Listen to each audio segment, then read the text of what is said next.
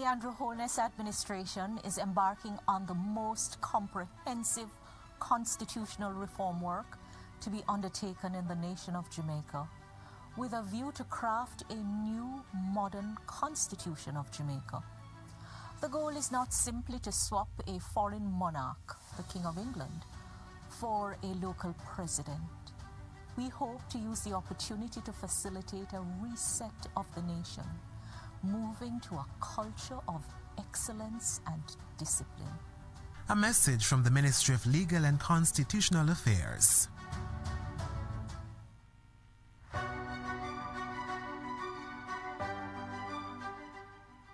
A high level constitutional reform committee has been established.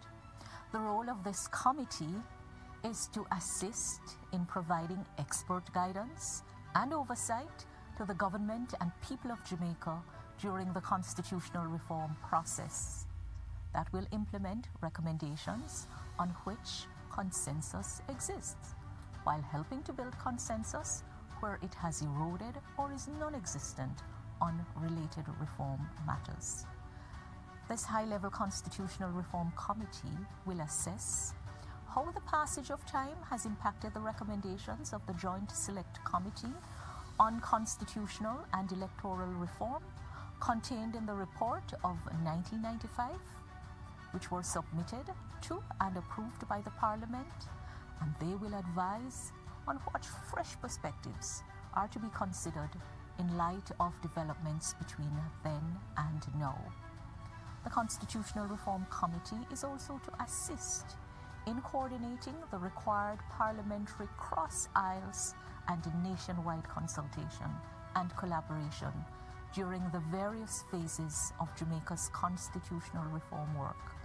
The committee will help to educate the electorate on their role in the referendum process to successfully transition Jamaica from a constitutional monarchy to a republic. A message from the Ministry of Legal and Constitutional Affairs.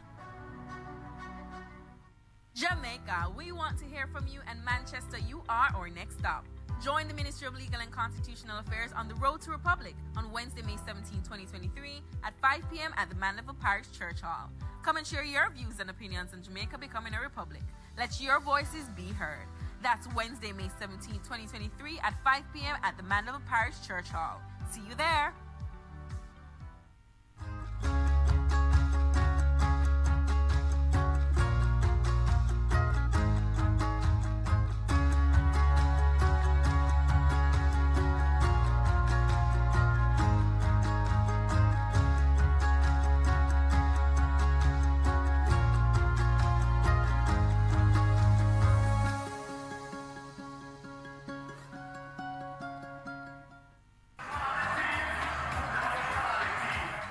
And a half thousand miles away from Britain, Jamaica has remnants of its colonial past, present, everywhere. But the country's future is changing. Sky News can reveal the coronation of King Charles has sped up the government's plans for a Jamaican republic. A senior minister told me legislation for a public vote could come as soon as this month. We're looking at holding the referendum in uh, 2024. Okay, so as early as 2024, we're saying that Jamaica could potentially be a republic. Time has come. Jamaican in Jamaican hands. In downtown Kingston, not all Jamaicans are ready to cut ties with Britain so soon. A lot of Rastas would say, yes, but I don't see it's not gonna be better. We don't think we are ready for it. We don't have the resource. Um, we, we don't. We're like a child. You cannot leave a child like that. And I want to tell you something. Stick to the evil that you know. I, I'm not saying they're good, you know. I'm not going to tell you that they're good. They are evil, but I will stick to them, to the evil that I know. But does the status quo help Jamaicans pay the bills? Many young people, especially, are asking, what's the relevance? How does, you know, a king affect the price of bread? A recent royal trip to Jamaica where senior royals failed to apologise for slavery has also hit a nerve. Slavery was abhorrent, and it should never have happened. Why not a full apology? Is it because you may have to give back the wealth of the monarchy taken from the people, taken from the places that were colonized, taken from the places where the people were enslaved? But it's not just the royal family swaying public opinion in Jamaica. Windrush, it's personal for people. The policies that are racist and unjust by virtue of nationality and, and ethnic background and the color of your skin. It's just not right. In part, what you're calling racist policies of the British government are influencing Jamaica's decision to become a republic. Yes. Strong sentiments, but by no means a done deal. Recent polling just about favours a Jamaican republic. The winning hand could be played in 2024. Saba Chowdhury, Sky News in Kingston, Jamaica.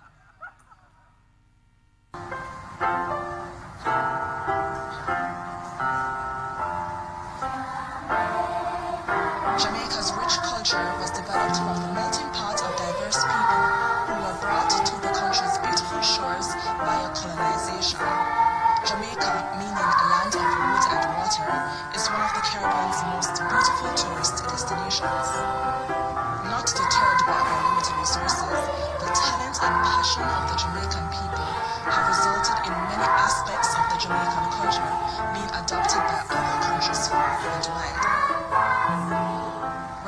Music and the Rastafarian culture have proliferated the world through the positive and uplifting lyrical messages of one of the world's greatest musical icons, the great Robert Nesta Marley, better known as Bob Marley.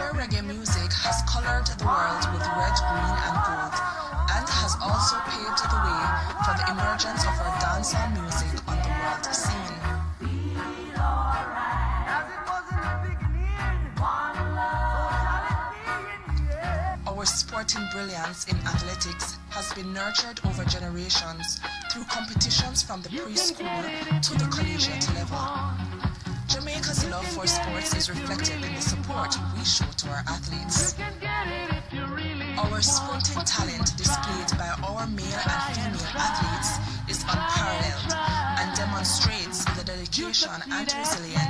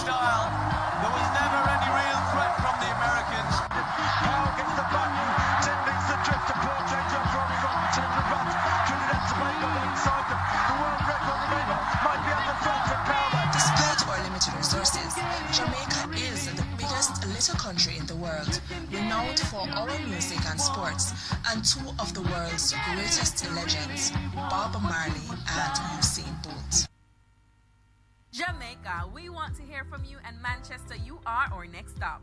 Join the Ministry of Legal and Constitutional Affairs on the Road to Republic on Wednesday, May 17, 2023 at 5 p.m. at the Mandeville Parish Church Hall.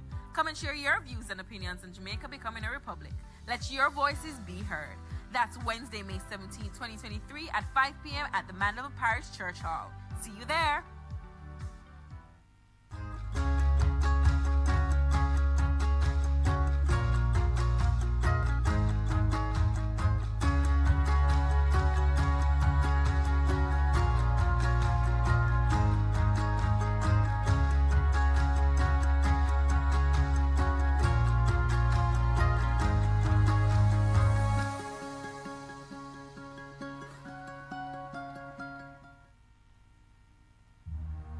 As children, we learn the true meaning of being a hero.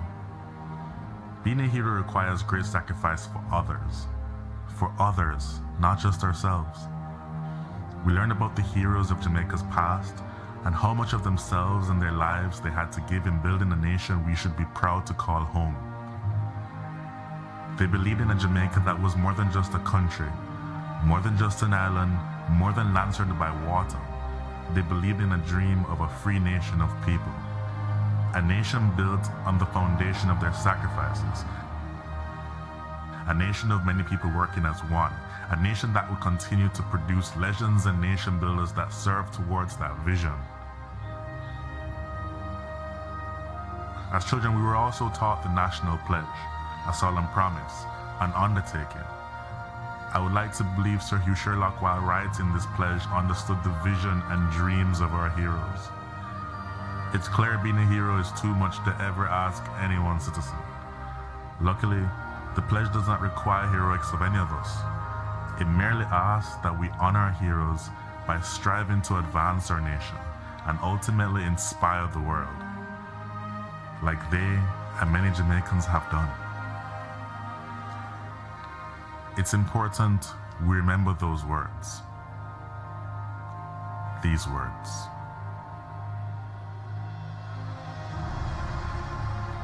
Before God and all mankind, I pledge the love and loyalty of my heart, the wisdom and courage of my mind, the strength and vigor of my body in service of my fellow citizens.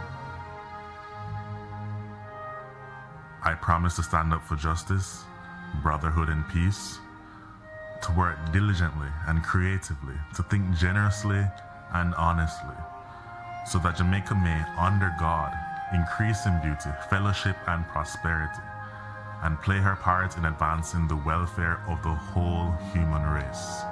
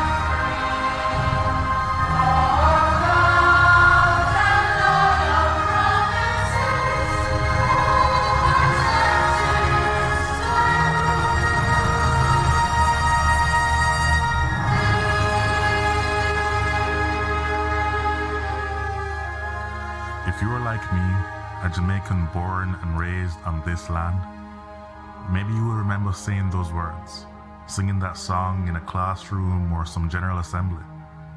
If so, like me, you made a pledge. Somehow it seems like many of us have forgotten that. The crime and violence, the indiscipline and short sightedness, the corruption, the lack of respect for our beautiful lands we are blessed with, and the waters that surround and nurtures us. We have to do better. Let us honor our heroes so that they would not have sacrificed so much in vain. I hope this video can make a difference to even one soul. If so,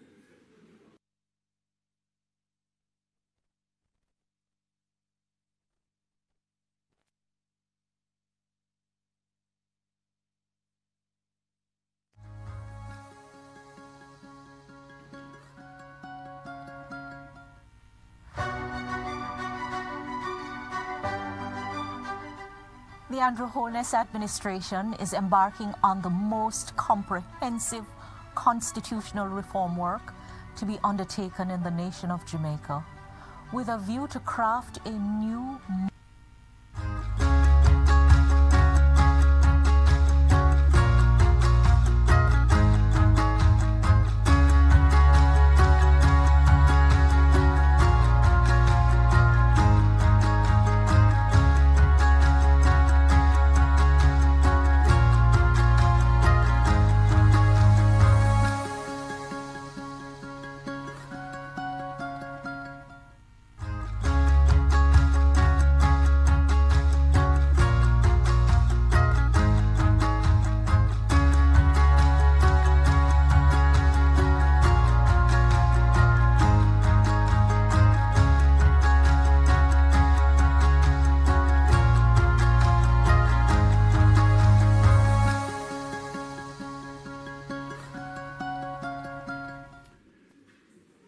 Welcome, everyone. Good evening. I- Hard to say welcome to Mandeville when we're in Mandeville. It's more welcome to the Constitutional Reform Committee. Welcome to Mandeville. It says here on that I'm supposed to give a welcome, but I'm going to start by asking a member of the committee, Dr. David Henry, to say prayer for us, and then we get into the business of the evening. Dr. Henry, who is behind me somewhere. Prayer, please. Thank you. Good evening. Let us pray. Heavenly Father, we acknowledge your presence here today as eternal Father. And uh, we pray your guidance, your insight, your discernment, your blessing on these proceedings. We are at a very important juncture in our nation's history, and we pray, Lord, that you would guide us as we seek to address matters of constitutional reform. We ask for your wisdom, and we pray, Lord, that every contribution will be heard, will be received, and that together we'll be able to build the kind of Jamaica that we all long for. So we ask your blessing on these proceedings. In Jesus' name, amen. Amen. I want to start by recognizing our Custos, um, who is always with us, the Honorable Garfield Green. We have behind us, behind me, the Minister and co-chair of the Constitutional Reform Committee, the Honorable Marlene Malahoo Forte, or members of Parliament, two from Manchester. Um, ladies first, Rhoda Moy Crawford, and Mikael Phillips, councillors present. I don't want to start naming and miss out anyone, but I see Lizzie, I see Mr. Olive. I suspect there are more, but poor eyesight, you know, going away. But importantly, I want to welcome the members of the Constitutional Reform Committee who are here with us this evening. I'll have to look around to see who is on stage. I see Dr. Nadeen Spence, Dr. David Henry, Senator Donna Scott Mottley, and of course, Mr. Hugh Small, former countryman but moved back to Kingston. In front of me, I see Ambassador Rocky Meade. You know, I don't know if Rocky is his real first name, you know, so I had to stumble a little bit. Um, Laleta Davis Mattis, Dr. Elaine McCarthy, and did I miss anyone?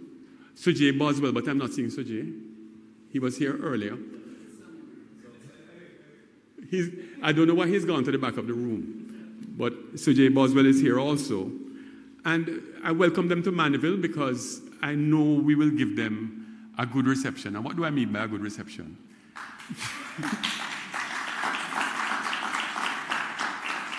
you know, I was, when you reach a certain stage in life, you can reminisce. And I was reminiscing with Stafford Horton a, a few minutes ago that he is a regular attendee to these meetings. So, over the span of 30 something years, we've come to a series of public fora. This is not the first, let me tell everybody. And this is why I say Mandeville is an interesting town because we always get good engagement in these sorts of um, opportunities to engage our lawmakers, our policymakers in improving our systems of governance. So we have been here before. We've been here talking about cabinet size. I remember we had, um, back in the early 90s, 92, 93 maybe, we had um, a public forum at the Cecil Charlton Hall. And you might recall, I remember D.K. Duncan was there, um, Dorothy Lightbourne and others were there. Good public engagements. And we have had several over the years. I remember being a panelist on one with the Honorable David Coore, David Batts, who is now a, a judge, talking about the, um, trying to remember which one, no, Caribbean Court of Appeal. So we have had different engagements, and I know we will do well here this evening. And why do I say we will do well? a lot of the dialogue that has taken place so far is what are they going to do? What are our lawmakers going to do? And I always deflect that question back to say, what are we, the citizens, doing to ensure that we have a process and an outcome that we want? What are we doing to inform ourselves, to engage, and to get our views out there? We have so many media now to let our views be heard. And I can tell you there's an earnest desire by this committee to hear the views of our people. So when people say, Boy, I never know this, or I didn't see that, or this didn't happen, I say, What did you make happen? When did you go to, in your group, your sphere of influence, your constituency, and I don't mean political constituency.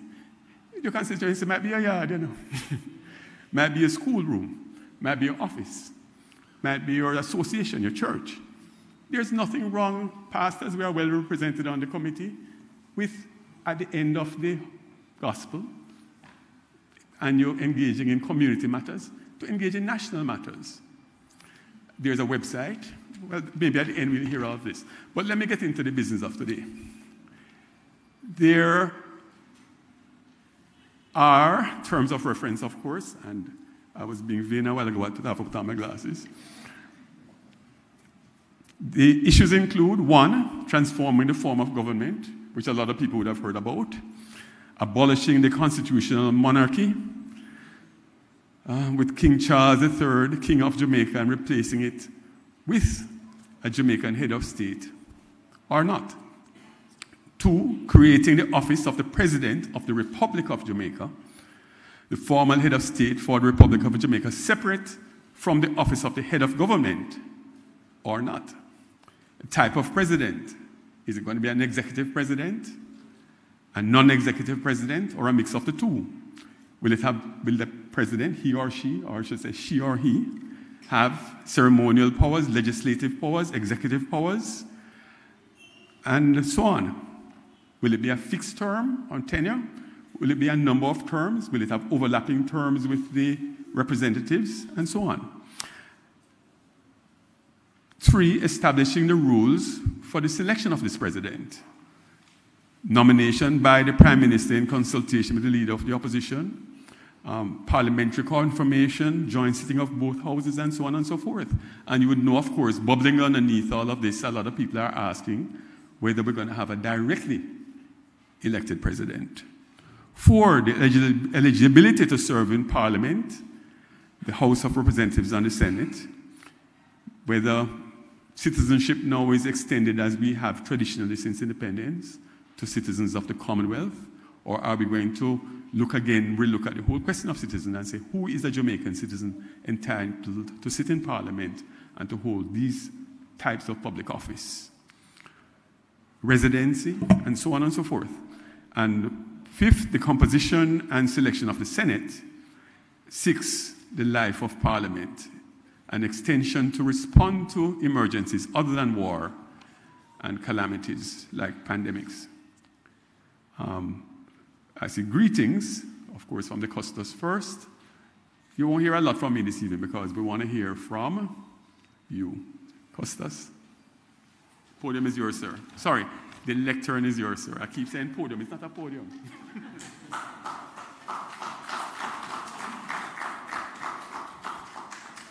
Thank you, Mr. Wayne Chen, our moderator.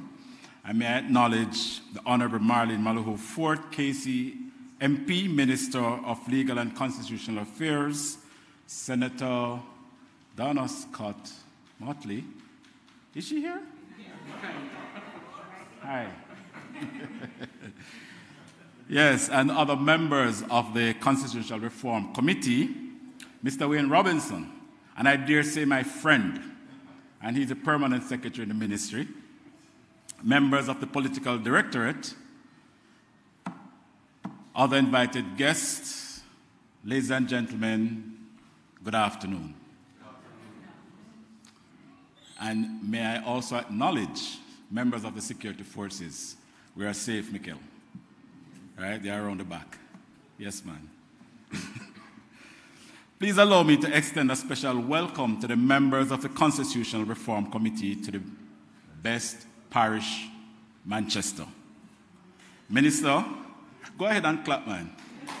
It's the best parish. So, Minister, we appreciate you taking this to us, and we intend to participate fully and productively to the process.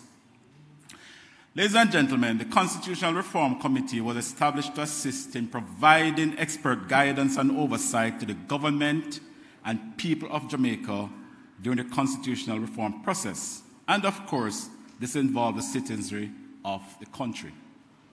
And I'm honored to be here today to share my thoughts with you as we're asked to participate. Jamaica is one of the few countries in the world that still has a constitutional monarchy, with the King of England as our head of state. This means that we do not have full sovereignty over our own affairs, and that we are subject to the laws and decision of a foreign power. It is believed that this is not acceptable for a sovereign nation in the 21st century when we have achieved so much as a nation and as a people. It is widely believed that if we had a constitutional republic, this would give us more control over our destiny and more respect and dignity in the international community. It would also reflect our rich and diverse culture, our history of struggle and resilience, and our aspirations for the future. A republic would be more democratic, more accountable, and more responsive to the needs and wishes of the Jamaican people. The government of Jamaica has taken the bold step and wants to include us. The time has come for us to become a republic. The time has come for us to make our own history, but we must do so responsibly. I therefore ask that we participate in the process for which we must be proud of we must stay clear of misinformation and not to become misguided in our judgment and decision process. We should not allow what happened to us during COVID to happen to us again. We followed a lot of story out there, and we did not protect ourselves by getting vaccinated. But let us look at Brexit as an example, where 52% voted for them to leave the EU. And the large majority of the 52% did not know what they voted for. They followed the crowd, they followed the noise, and voted. And they regretted it. Yes, let it not happen to us. And I also want to point to some things that I've been hearing. The, the committee is made up of a wide cross section the church, civil society, politicians on both sides. And I think all of us have access to one, at least one of them. But that I hear comments in the media about what is happening to the, to the process. They want to make suggestions as what to happen. Instead of speaking to their leader who sits on the, com- on the committee, they go in the media and they speak of, share their opinions rather. Don't know why, but it can create, it has potential consequences. And we should always remember that our comments have the power to influence others and to shape their opinion. And that is what I'm asking us to avoid. Let us not speculate. Let us not speak loosely. I'm sure the committee will share with you how you can contact them and share your, your opinions further from this evening with them. The constitution of a country is a cornerstone of its governance system. It outlines the fundamental principles and values that guide the functioning of the state and its institutions. It is a living document that reflects the changing needs and aspirations of the society it serves. One of the pressing issues that require attention is the need to strengthen our democratic institutions. And we have witnessed a growing mistrust in our political system and a decline in public participation. This evening, we're going to change that narrative, right? We need to address these issues and ensure that our institutions are accountable transparent, and responsive to the needs of the people. As I conclude, I'm encouraging all of us to participate fully and to be part of, making, of the making of history in our country. And I want to just remind us one more time to avoid loose comments out there. Be wise in your thinking and in your decision making. Thank you. Thank you, Custos. I will now invite the Member of Parliament for Manchester Northwestern, Mr. Mikael Phillips, to offer greetings. But I see him got, he got distracted. There's a.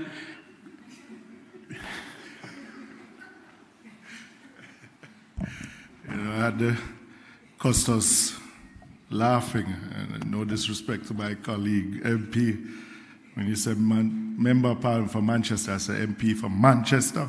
Yeah, so Custos is, is laughing. But yeah. um, let me welcome the committee to the happiest parish in Jamaica. Yeah? That's why the Custos was laughing. Despite the challenges that we're having, we're still the happiest parish. That's why we can laugh like that, right, Rhoda? Yes. Um, former member of parliament, councillors, minister, I see some of my church members. This is my church, Minister. Yes, this is my church. Um, residents of Manchester, a pleasant good afternoon. Um, a discussion like this is one that we should all get involved in. And I, I, I have to say that I'm a little bit disappointed in the turnout. Yes because I mean, I tried to see if we could get some of the schools here because I think it is important for the students themselves, the next generation, to understand why it is that we are having this discussion and we are pushing forward for Jamaica to be a republic. The minister and myself has We have had many discussions, and, and Senator um, Donna, we have had many discussions on the issue. Because as far back, Right Excellent Marcus Garvey, as early as 1932, made the first definitive call for self governance and shared his vision for what he called the new Jamaica. The debate of removing the monarch as our head of state has been a long standing one, an issue for us as Jamaica. The conversation started shortly after our own independence. Uh, we are now 60 years going on. It is vital that our journey to independence is well understood.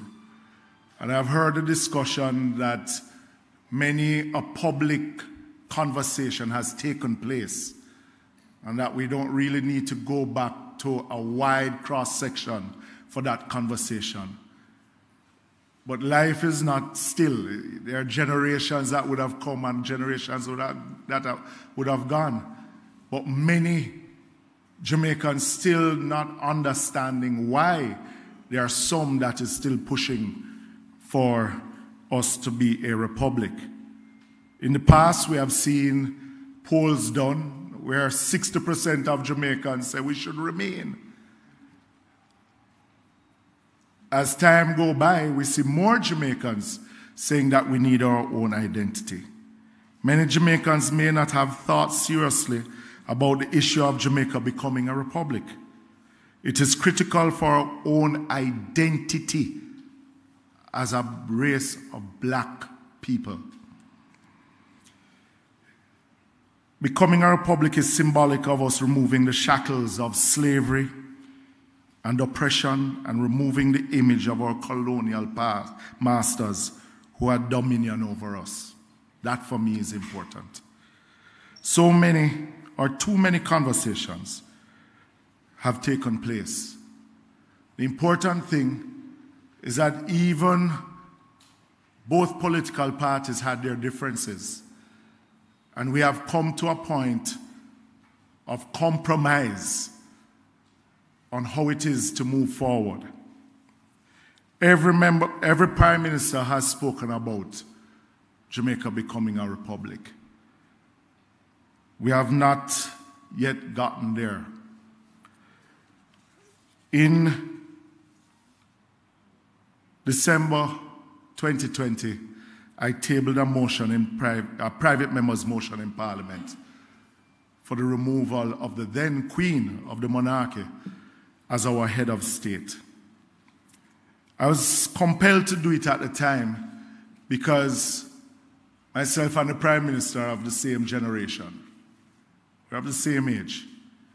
And if the generation before was not able to, then I thought it important that at least someone of my generation, because this wasn't about me being a member of the People's National Party, it was me being a Jamaican that would want to see us have our own identity. Our complete independence would come when not only becoming a republic, but also when we remove ourselves from the Privy Council and have the CCJ as our final court. This is a conversation, as I started out by saying, I'm happy to see that the conversation is being carried out into the communities because every Jamaican needs to have their voice heard. But I hope that we don't tinker with this opportunity and not make it happen. I think the time is now for us to have our own identity as Africans, as Jamaican people, bringing back that constitution home, that we have our own identity as a people. Thank you very much. Thank you, member. I now invite to, as you said, Manchester. It crossed my mind that our next member coming to the lectern is Manchester Central. But you know, the interesting thing is that she's the first woman in almost 80 years of adult suffrage to be elected from this parish. It's not really blot on us, but Mrs. Miss Rhoda Moy Crawford, Member of Parliament for Manchester Central. Thank you Mr. Master of Ceremonies. You know, when MP Mikael Phillips mentioned that this is the happiest parish, I realized that our visitors, especially, had a quizzical look on their faces. And I'm just here to put that to rest. It is true, a survey was recently conducted across the island, and it was found that the people of Manchester are the happiest people on the island.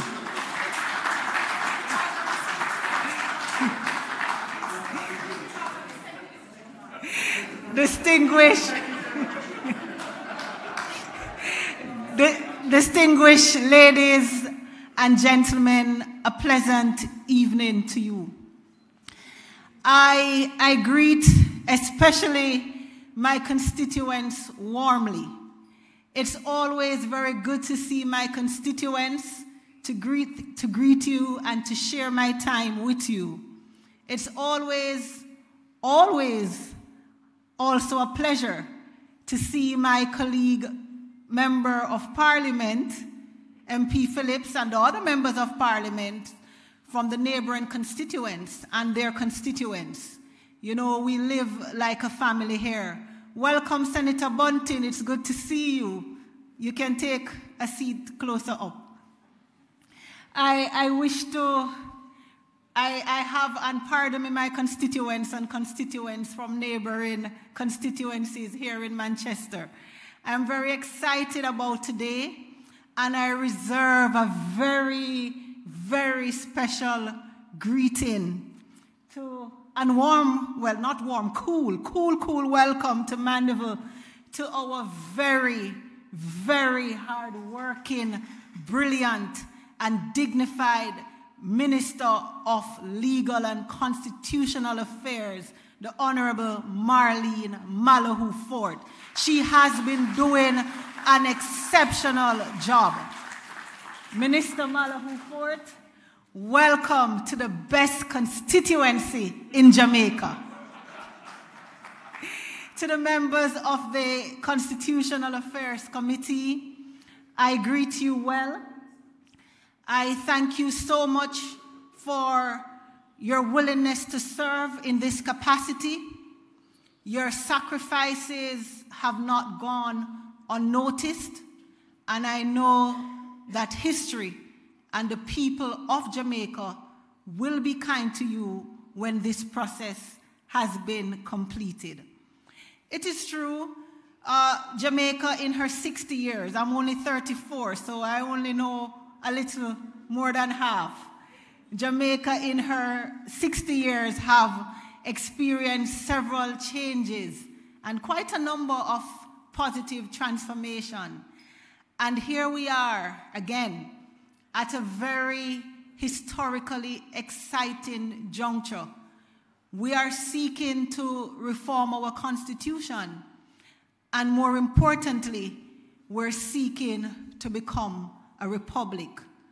And what I'm very happy about this process and this juncture of the journey and the decisions that have been taken so far by the government and, of course, the members of the Constitutional Affairs Committee is to embark on these consultations because what it does is it allows citizens, all citizens, the equal opportunity to ask your questions and to share your views.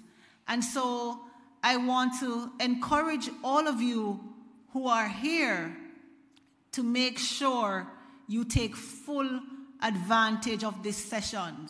Do not be afraid to ask your questions. Do not be afraid to share your concerns.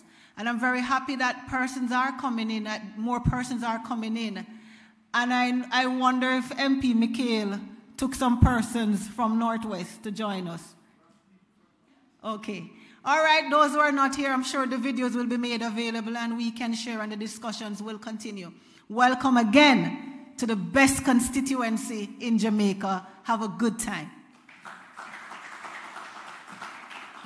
Thank you, ma'am. And without further ado, I will invite the Honorable Marlene Malahoo Forte, KC, and that's not Fortis, that's King's Counsel, JP, MP, the Minister of Legal and Constitutional Affairs, and the co chair of the Constitutional Reform Committee to make her presentation.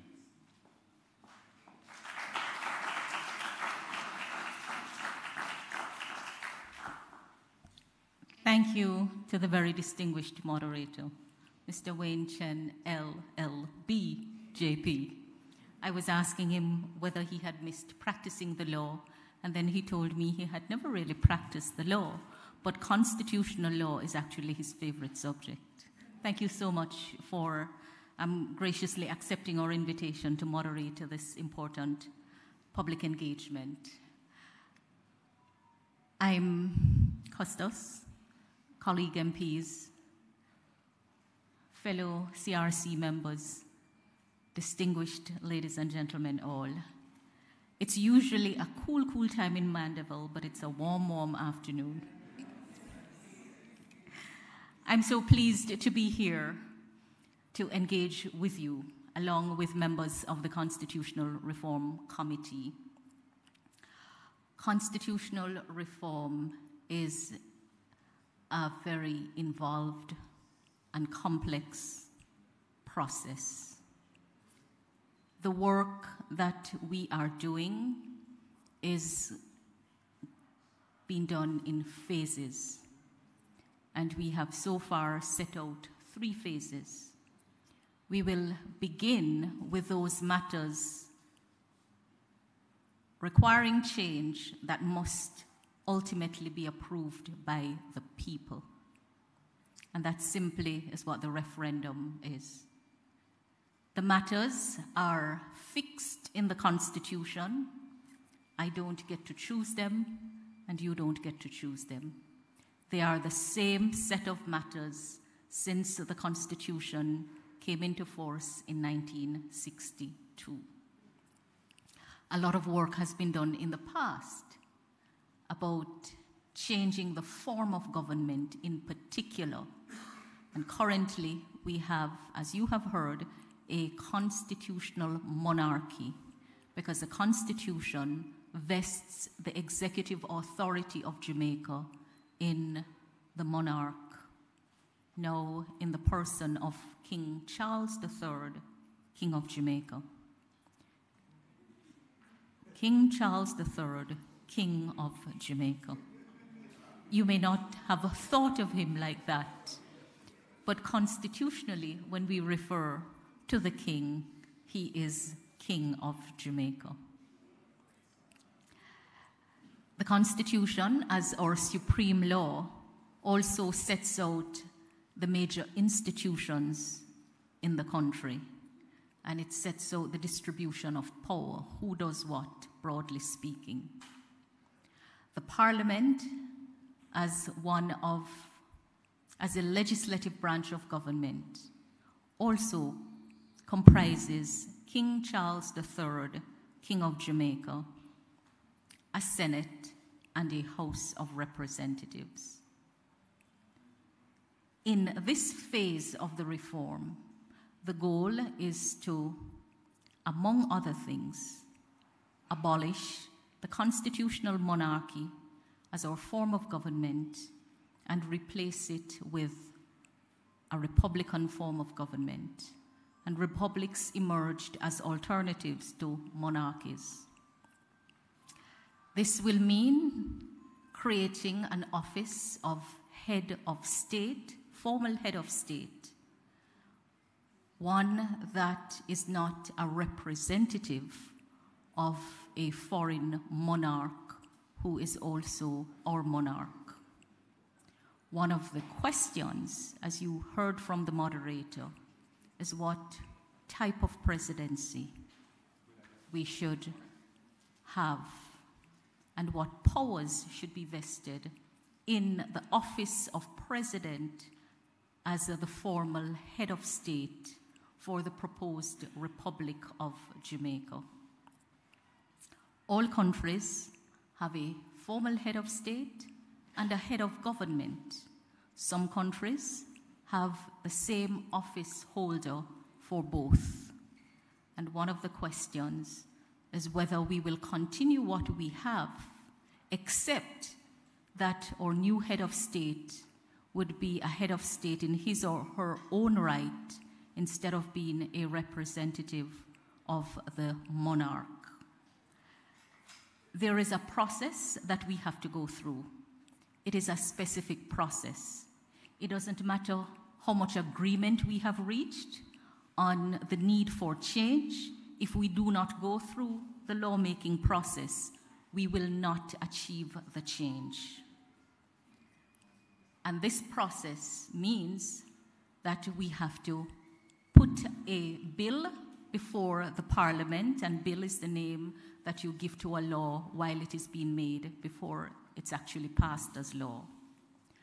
And that bill has to be passed by both houses of parliament with a special two thirds vote.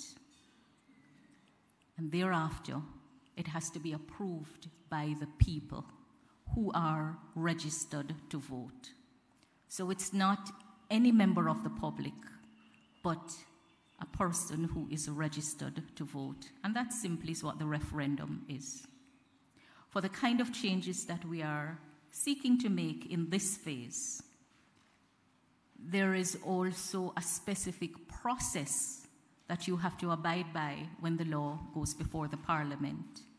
A period of three, at least three months, must elapse between the tabling of the bill, that is when you introduce the proposed law into the parliament.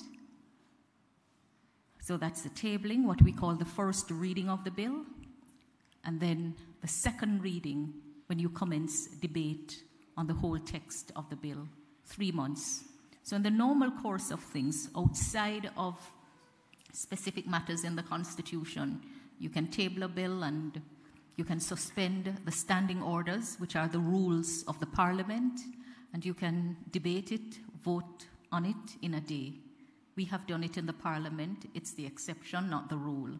Or you table it and you commence the debate the following week and you pass it. Not so for the kind of reforms that we're seeking to make to the Constitution. Three months between the first reading and the second reading, between the time when the bill is tabled and when the debate commences.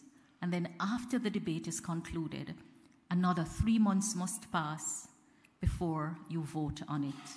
And the big question is what do we do with those two periods of at least three months? because the people will have to vote to approve the bill after it is passed by both houses of parliament. That time is to be spent educating the people and consulting. First of all, letting you know what is in the bill, because even though we will have discussion here before the bill is tabled, you will still have to know what ends up in the bill. Sometimes the discussions are much broader than what actually goes in the bill. And then after the debate is concluded, we will have to assess whether there is anything to be taken into account that may require an amendment to the bill before it is passed. Then it goes to the Senate. The Senate has to pass it with a two thirds vote, and that can only happen if both government and opposition approve. At least one member of the opposition in the Senate would be required to vote in favor for the two thirds vote to be achieved. And then there is also a delay period before it goes to the people. So it's a very specific process. I do not determine it. The Constitution itself sets out what that process is.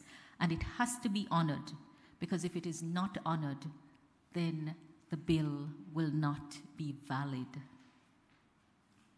It's technical work. So we really want to hear from you, and we want to hear your views on the matters being deliberated on. Already, there are numerous questions being asked. A lot has been said about what the committee is doing and not doing. Be assured that we are not a committee that is a, a secret clan working behind closed doors to cook up anything to put before the people we're not starting the work from scratch. We're actually building on work previously done. We're assessing recommendations previously made to the Parliament but which were not implemented. And given the passage of time between when the recommendations were made and now, the government thought it fit to see what fresh perspectives need to be considered before we implement. There is really no room for change in the subject matters that require the approval of the people to change in the Constitution. Like I said before, those are set.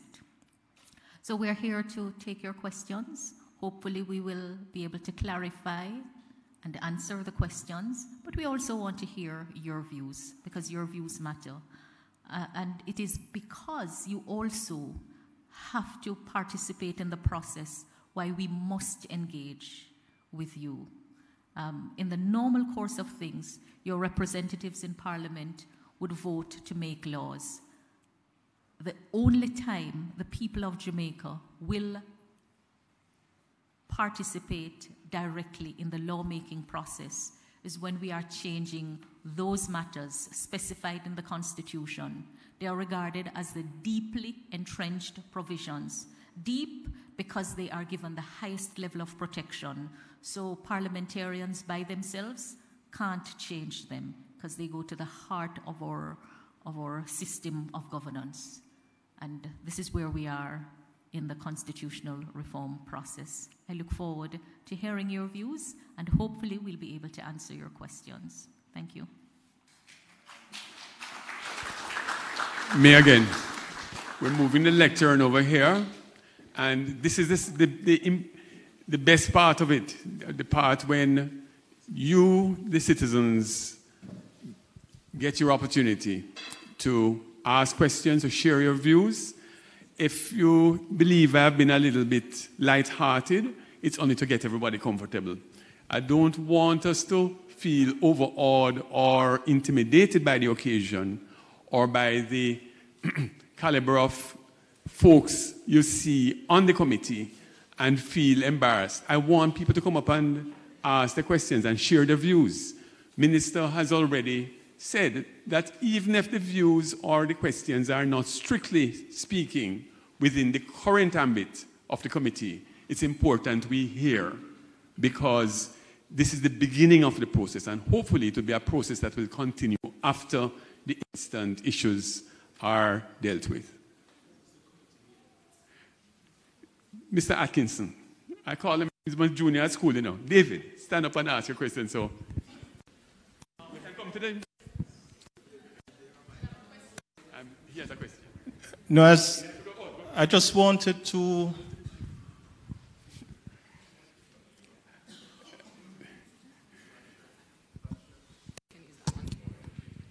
The question I was asking is the committee, how many members are there on the committee and how is it made up? Because, you know, we have heard some things and I just want to be sure. And is the committee still as it was at the beginning or has someone been removed?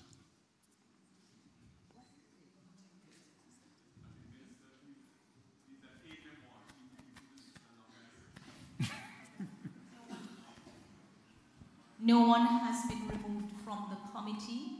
We have had an addition since the members were first named publicly by Prime Minister Holness. But the committee was constituted on March 1 and formally announced on March 22 okay. of this year. It, the committee comprises members of both sides of the House because the bill has to be passed by the Parliament and it requires bipartisan um, approval. It comprises member of civil society, the wider society, civil society, faith-based society, experts, constitutional law experts, national and international, youth representative. Uh, the, I believe those are the, Okay. yes. And then we have a process for subcommittees to engage other members of the public. Okay. One more point, Mr. Head, Head Boy. Um, I haven't heard anything about fixed election dates, and for me, that is vital. We have had situation over the years that our Prime Minister has manipulated the date of elections. We have the situation right now that parish council elections have been delayed three times. And I really would like to see in a new constitution that there's a fixed election date. We don't want a repeat of 1983 where we didn't have another election until 1989. We need you to give the people back some power. Thank you. Thank you, Mr. Atkinson. Can you identify yourself before you speak? Sure. Uh, my name is Anthony Hutchinson. Um, I'm a retired farmer. Yeah. Um, let me. I just want to say, I have two points that I want to raise, but before that, I just want to say I have very strong views. So I mean no disrespect at any time to anyone. Okay? Um, I'm a child of the 60s, which should be obvious. And, and when I was at high school, we were always hearing about the brightest and the best, and that we could depend on these people to take us forward. I'm appealing to people in my generation. We made this mistake already, and here we are. We had Prime Minister Michael Manley, Prime Minister Edward Seaga, Prime Minister P.J. Patterson, Prime Minister Bruce Golding, and we are still here. All bright people, we are still here. Because the fact is that bright people, just like anybody else, have a part to play. One part among many parts. And we would like bright people. And I, I, I, I th- I'm th- sorry, I'm thankful to, to, to Minister Malahoo Forte for the procedure here because I think it is vital. Yeah? Okay. My second point I, um, I, I am a fin, finan, I'm a Finsaki. Okay? I'm a Finsaki. Okay? I got into FinSAC in the first place largely because of the length of time taken by the Manchester Municipal Corporation to do its job. Yeah? Unfortunately, I find myself in a similar position today where I have submitted some documents from November last year. And I'm being told, I'm being told, no, that I just have to wait. No, my understanding of governance is that the people are sacrosanct. You don't tell the people that them just have to wait. At least give them some kind of, um, there should be some kind of transparency. Saying your application requires these things, it is here now, we give you so much time before it is ready. At least tell me that. But just to tell me that I just have to wait is unreasonable, right? And I'm saying we need to be, we need, because my concern here, apart from getting myself out of the current situation, is how does, how will this work for my grandchildren? Okay? We need to, I need to think about that from now. So I'm putting, I'm asking a question, or I'm putting it on the table, that we need to have our governance structures much more responsive to the needs of the people. And instead of running ahead as if you are some kind of boss and I am some kind of follower, that must just follow your lead. This is not acceptable. Thank you. Please? Thank you, Mr. Hutchinson.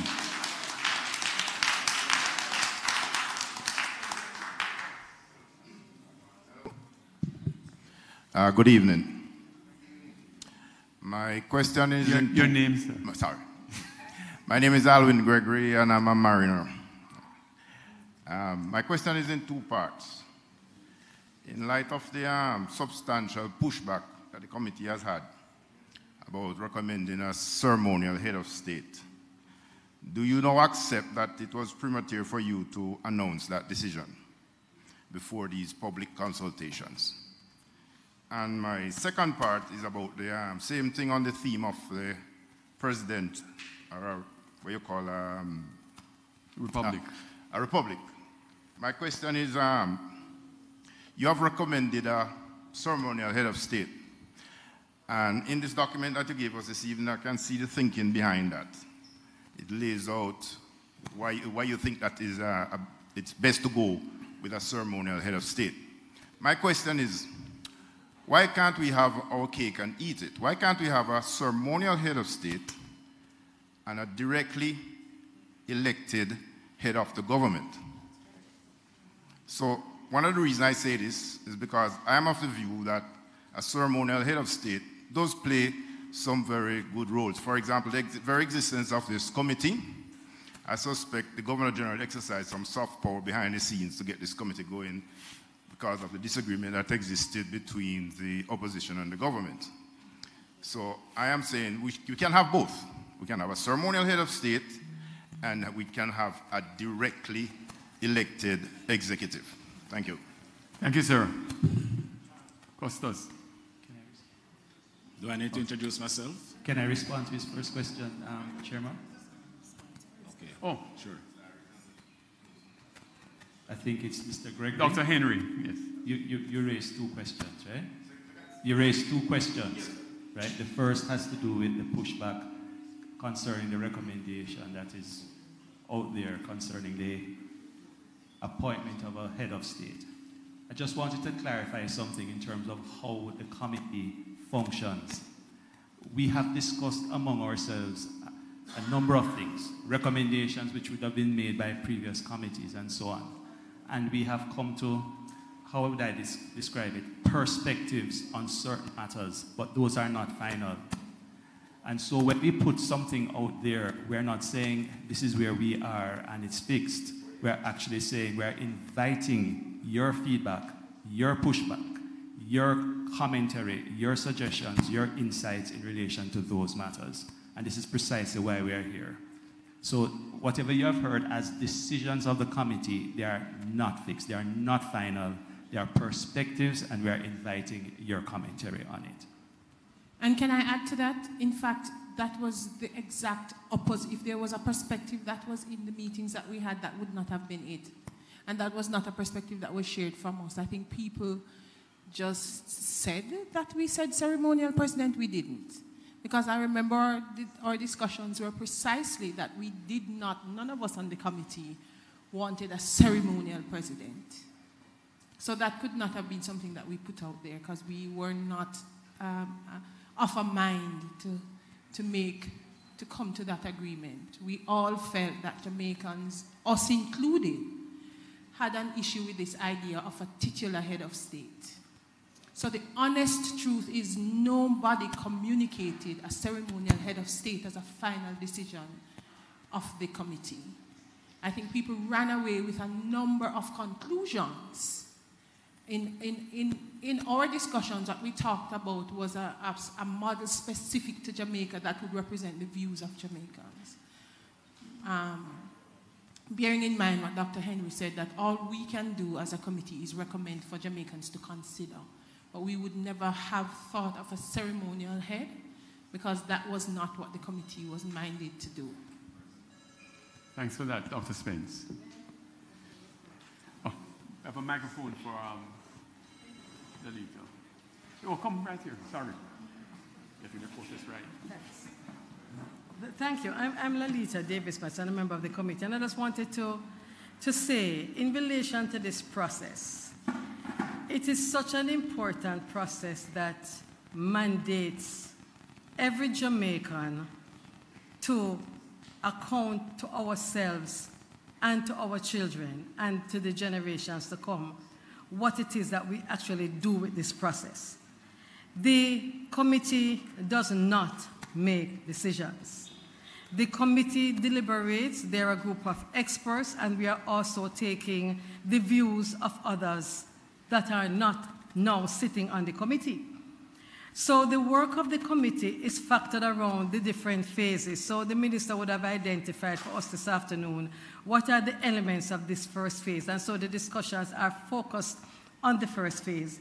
We are also aware that there are other elements that are of interest to Jamaicans. And as she also said, we are not negating those as well because some things are for the Constitution, some things are not. But we understand that this is a people process. What we are really seeking to do is to engage the public so that if the committee puts out a recommendation, it is a recommendation that we have discussed among ourselves and that we are of the view that as a committee, we believe that we need to say to Jamaicans, let's think about it this way. The recommendation from the committee is not cast in stone. It's merely a recommendation so that the, so that the people of Jamaica can comment on it. And so even this discussion this afternoon, that's what this is about. This is really about what is it that you want to see. For example, my colleague behind me just asked, are we looking at other jurisdictions outside of the Commonwealth? The answer is yes. And we have been having submissions from other groups within the society who are making all kinds of recommendations. At the end of the day, the role of the committee, which respected these recommendations, is to really list them, articulate them among ourselves, and then perhaps make the recommendations. If there are areas in which we cannot, we don't reach consensus because we have varying views, then we will say also to the public, we have not reached consensus as a group. And I want to be very careful with the word consensus. Consensus in terms of what we have deliberated on to recommend. So that is really how the process really works. So in for us this afternoon, every single comment here is, taken, is going to be taken into account. Um, this is a situation where all ideas must contend. Because if we are really saying that this is a way in which we are going to Jamaicanize the Constitution, make it ours, it is not merely a process where you remove the king and replace the king with somebody else. That's not what this is. Our colleague recently mentioned the whole issue of governance. How does government work? And I will tell you that one of the issues in the committee right now, and I will speak, I, won't, I don't wish to speak on behalf of the minister, but the issue of how government works for people is on the agenda. Because in this reform, we must ensure that government and people are accountable. And what is government? It's not just the MP sitting in parliament. It's all the civil servants, all the public servants that we have employed in this country to serve us. And I also want to make the point that sometimes, and in this particular process, I think one of the things we need to do also is to really look at how government works now. What, is, what, does, it, what, the law, what does the law say now in, in terms of government and governance? What do the policies say? Because many times it's not a lack or any lacuna in the law, you know. It's because we ourselves don't keep the people that we have been elected accountable. So sometimes we need to look at the system. Is anything really wrong with the system? What is it that we need to do? And if it is working for us. So the issue is as I think we have said before, it's not just a matter of making a change for making a, um, a just making a change for the sake of it. There must be a process behind it. There must be what is it that Jamaicans are to benefit from this new republic that we are embarking on. It can't be that tomorrow morning or next year we are now the Republic of Jamaica and everything remains the same. So it is a very involved process, and the process will also involve the amendments to other legislation. It may, may, it may very well involve creating new legislation, etc. So again, I just want to encourage us to own the process. I think it's important to own the process, and uh, those of us who are more endowed to explain the process and to interpret the process, I believe have a higher obligation to ensure that we interpret the process correctly and that we seek for the truth. And as someone said earlier, the committee members are accessible. And we actually have been having submissions. People have been coming in and making submissions, and we are actually inviting submissions, both written and the voucher. Thank you very much. If I, if I may do a little quick follow-up. Thank you, ma'am. If I may just do a quick follow-up. 30 seconds. 30 seconds. I am going to read something from the Jamaica Observer. It says here, speaking with the editors and reporters at the Jamaica Observer Monday Exchange this week, Minister of Constitutional Affairs and Legal Reform, Marlene Malahoo Forte pointed out that the consensus so far is that the office of the president should be the formal head of state separate from the political head of government. That's what's in the media. That's what I read. That's what my, my question was premised on. So now you're telling me that it was not a consensus. That's what you just said. So far. No, no, you said ceremonial head. Well, I- the well- consensus so Mm, far, as yes. we explained, as Laleta explained, consensus, which is different from saying a ceremonial president. And if you understand the difference between the different kinds of president, you will understand why that caveat of a ceremonial president makes the difference. Um, Mr. Moderator, may I just seek Yes, to of- assist of course. Mr. Mr. Gregory? Um, when we speak of arriving at consensus, it means within the committee we would have deliberated on an issue and we would have gone through a process of hearing the different views, asking questions, and then see at the end of the day where we are on the subject matter. So one of the issues is what the head of, new head of state would look like.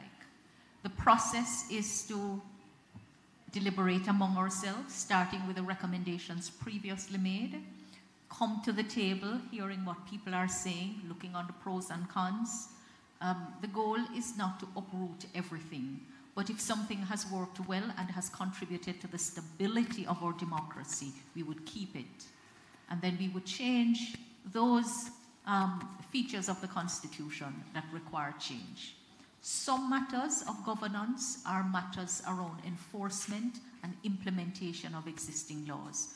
So when I spoke to the committee arriving at consensus, it's really a consensus for recommendation, not a consensus to say that this is what should be.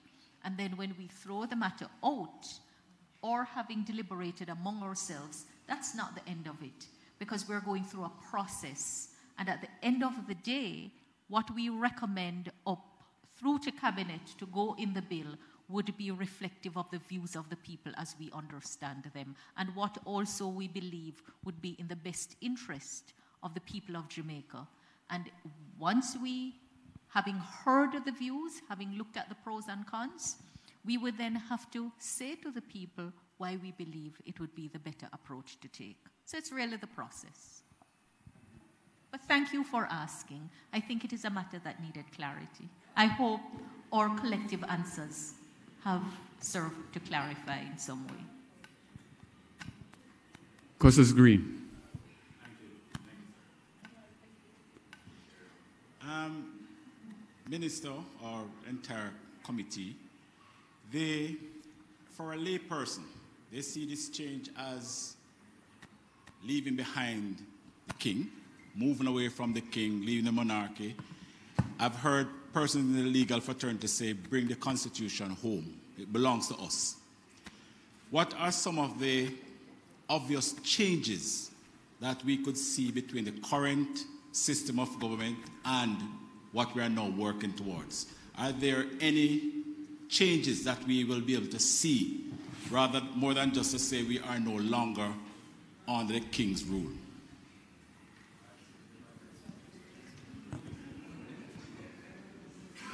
Hugh Small, sir?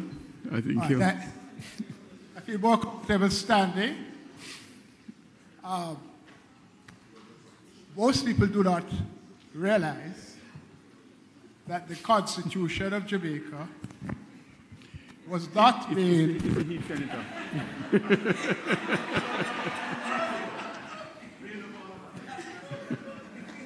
I hope you pay attention to what I'm saying.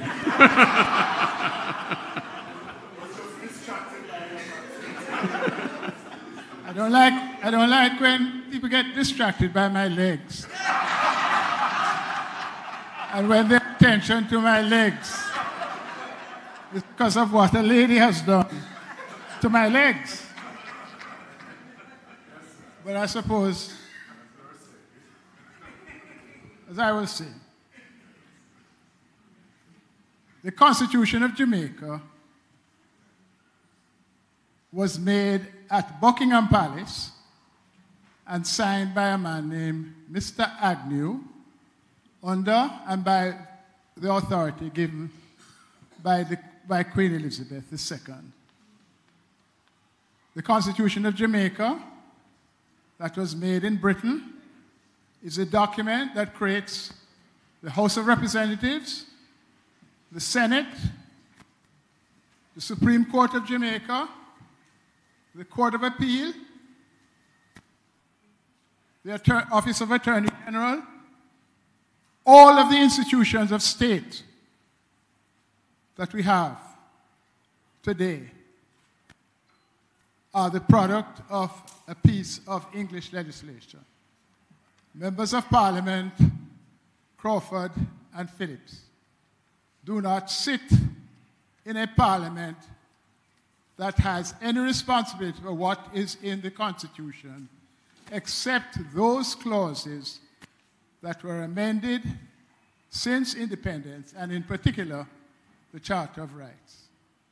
Part of the objective of this procedure is to make sure that the document, which is about that fact and has just short of 200 pages, is going to be legislated not only by our Parliament, where Donna Scott Mottley sits in the second chamber, and we don't want to quote it as upper and lower, because actually the law is upper in that that is been put there by the people. To have a constitution that is passed by the House of Representatives and the Senate, and for the first time in the entire history of Jamaica, legislated by the electorate. Because when we had a referendum in 1961, it was not to create a law, it was simply to say, do we stay or do we go?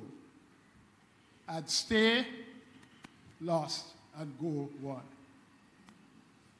And interestingly, at that time, neither of the parties was able to use their political symbols on the ballot.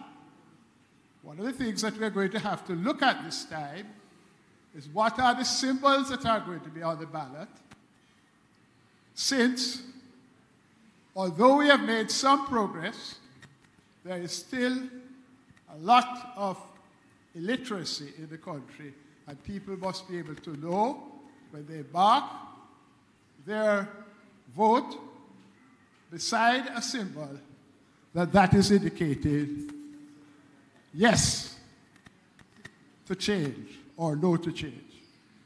And interestingly, and I'm sure that Peter and his, uh, Michael and his colleague who sits beside him will be interested to learn that prior to 1961, the symbol of the PNP was the head and the symbol of the JLP was the hand. They were not allowed to use those symbols in the referendum. The symbols that they had to vote for was yes was a tree and no was a bell.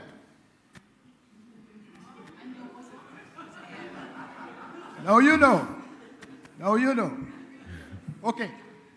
So that the process must involve people understanding why they're being asked to vote. They can only understand why they're being asked to vote if they understand what is there now and what are the changes that are desirable. And therefore, there has to be a massive program of education. And this here is a form of education, but even more important than this form of education is a form of education that is going to go into villages, bars, parent teachers associations, branches of the, P- of the PNP and, and groups of the JLP. you paying attention? Okay. At that level, so that they can understand what's happening. Because we assume that they are going to speak with one voice.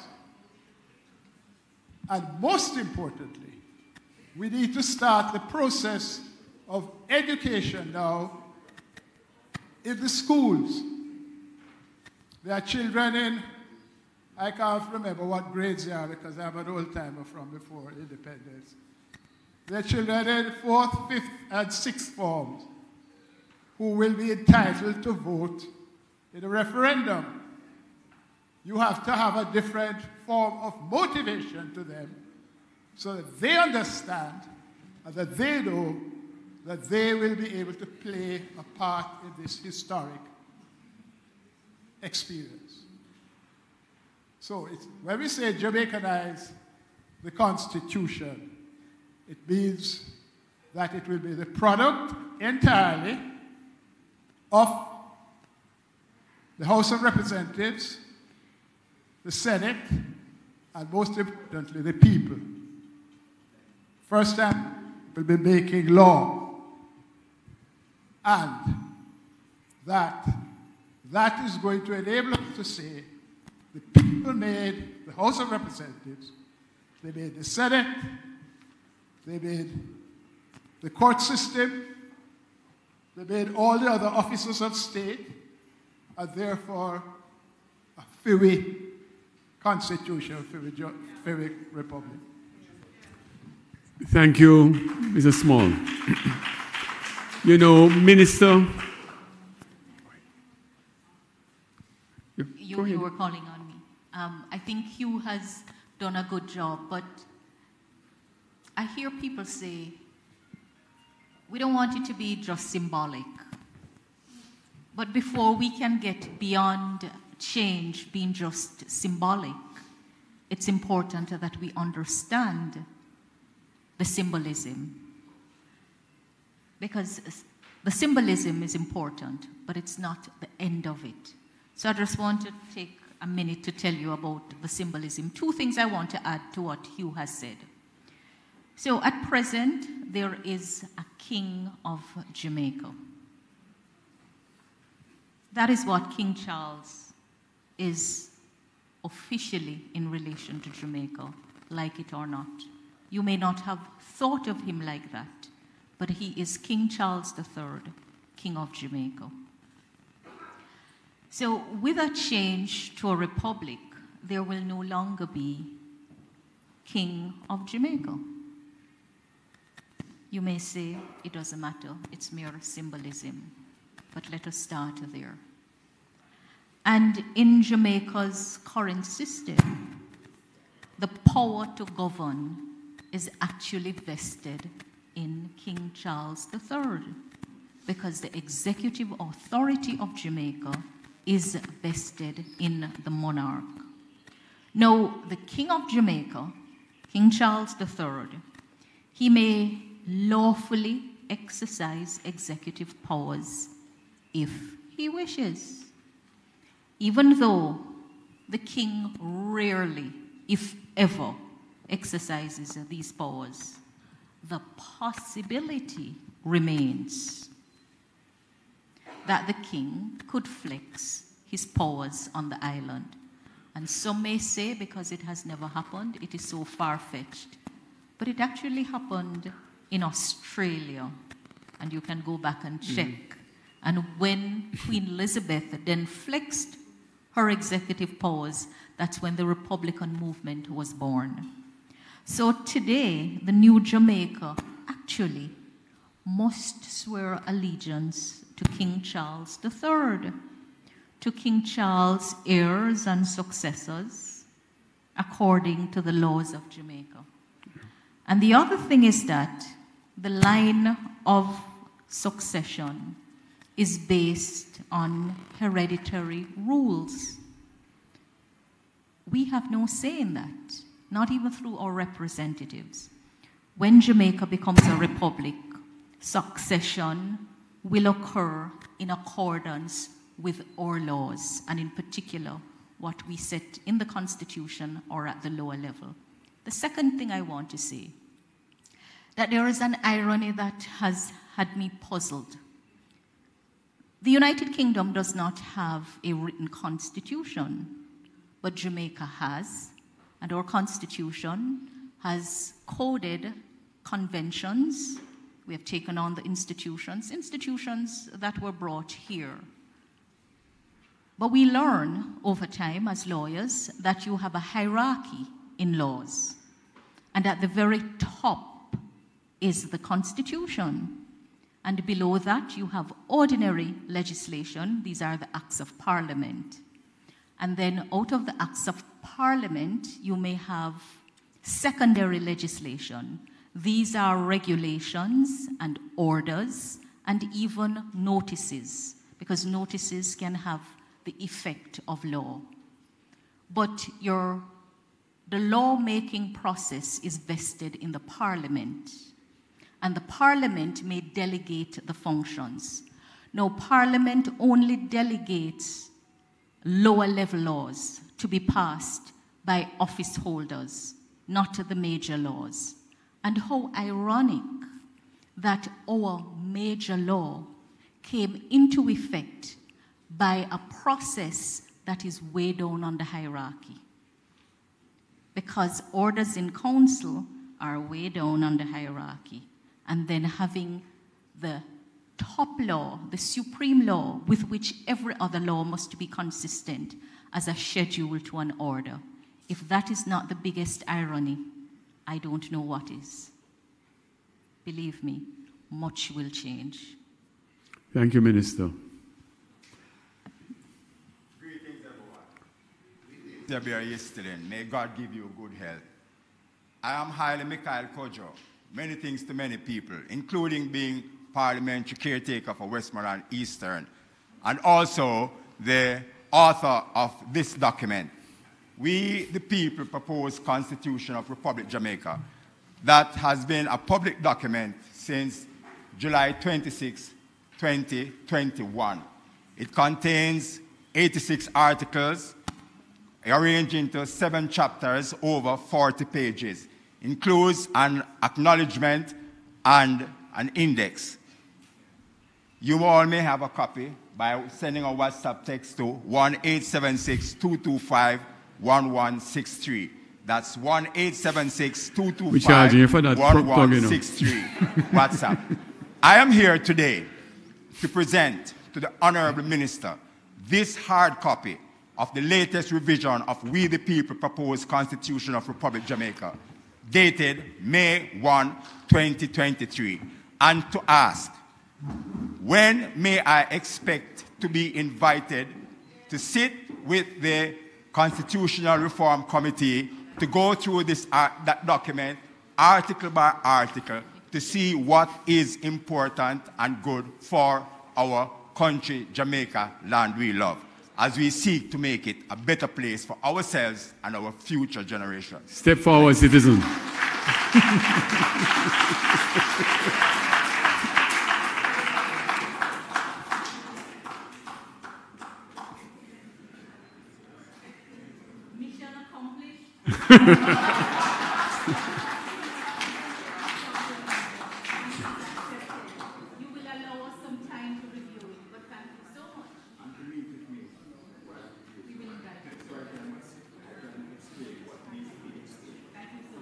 Are you putting it online for the general public to see, sir? Yes, you send me a WhatsApp text to 1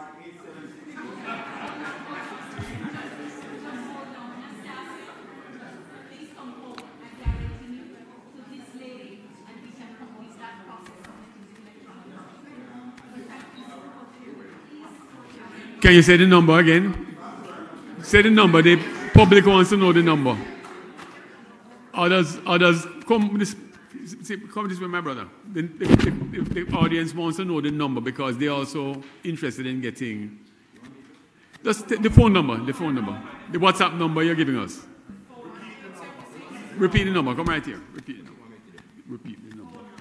The number is 1 876 225 1163. 225 1163. Thank you very much. Thank you. Much appreciated. You're welcome.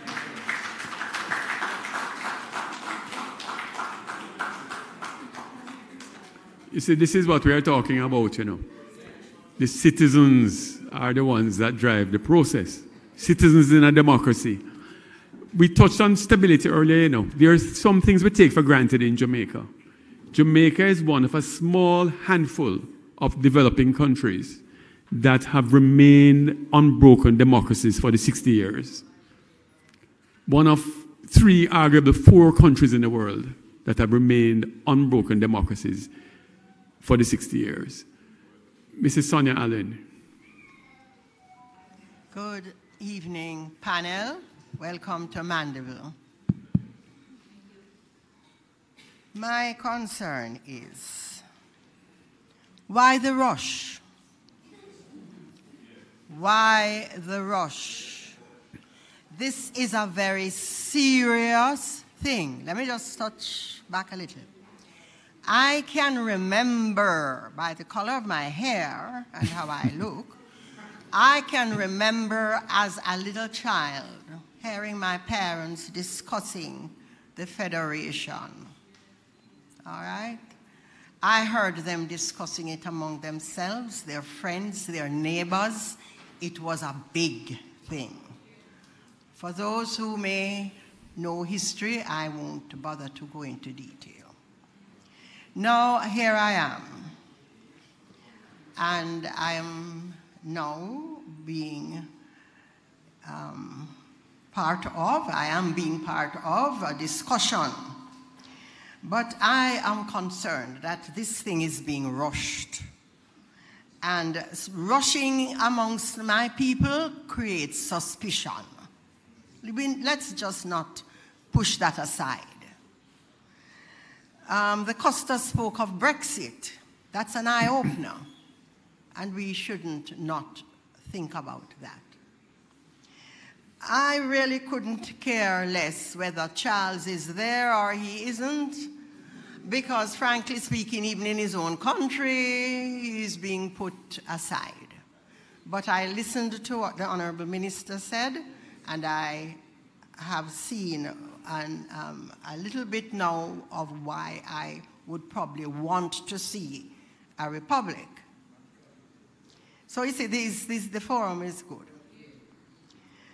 But for me, there are, we are going through some serious economic um, problems here in this country. And I don't know if this is really the right, this is going to cost the country a lot of money.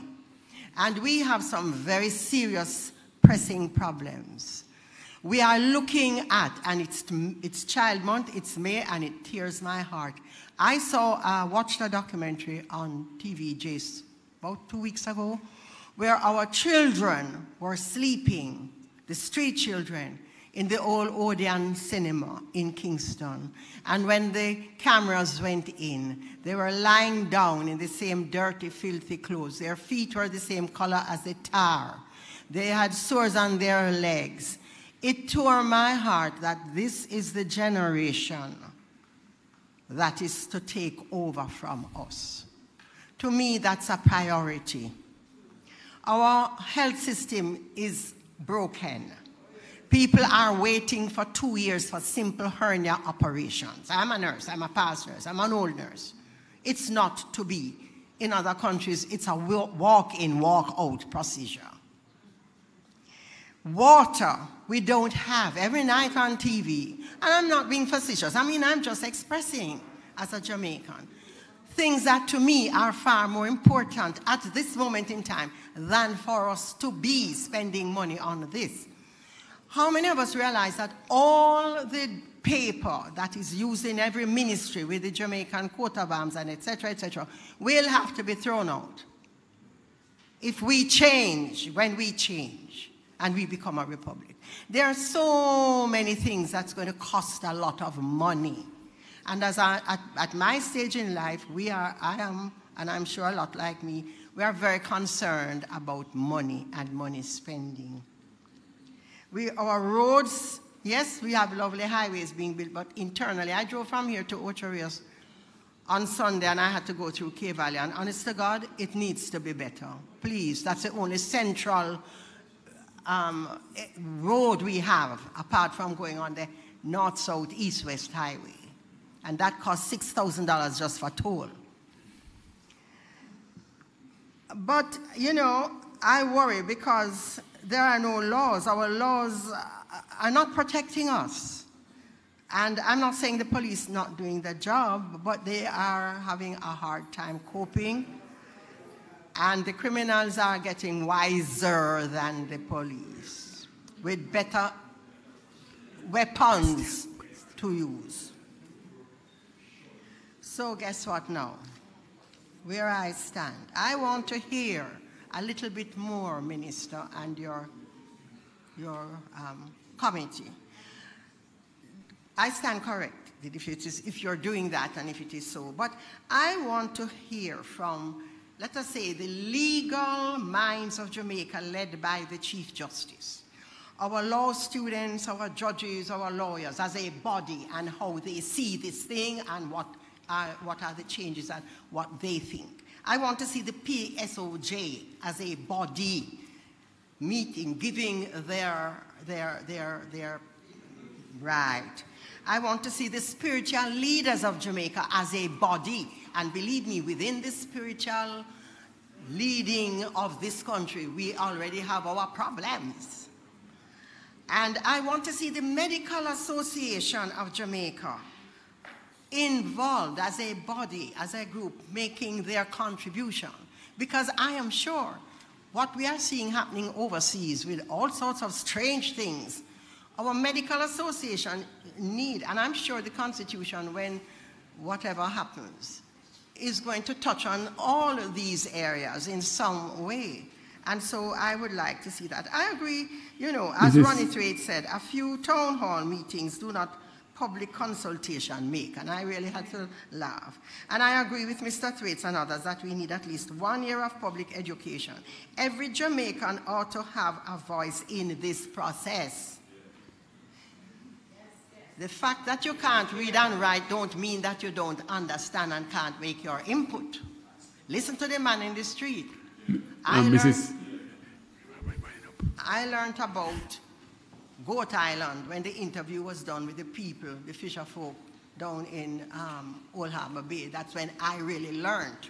And then it, that died a natural death. Mrs. Allen? Yes. You have quite a detailed I'm- I'm going to end comment. up- I'm going to I, I, can I make one recommendation though? Yes. If you just encapsulate it and send it in, don't mind whether it is double space, single space, grammatical, or edited. All right. A lot of Therefore- substance in there. Okay, let me just let me just finish now. Therefore, my concern is what part of the Constitution will be changed, Minister, if we could have them listed, Jamaicans could read them, and then show us what will those changes be replaced with or by. Thank you, ma'am. Okay, thank you.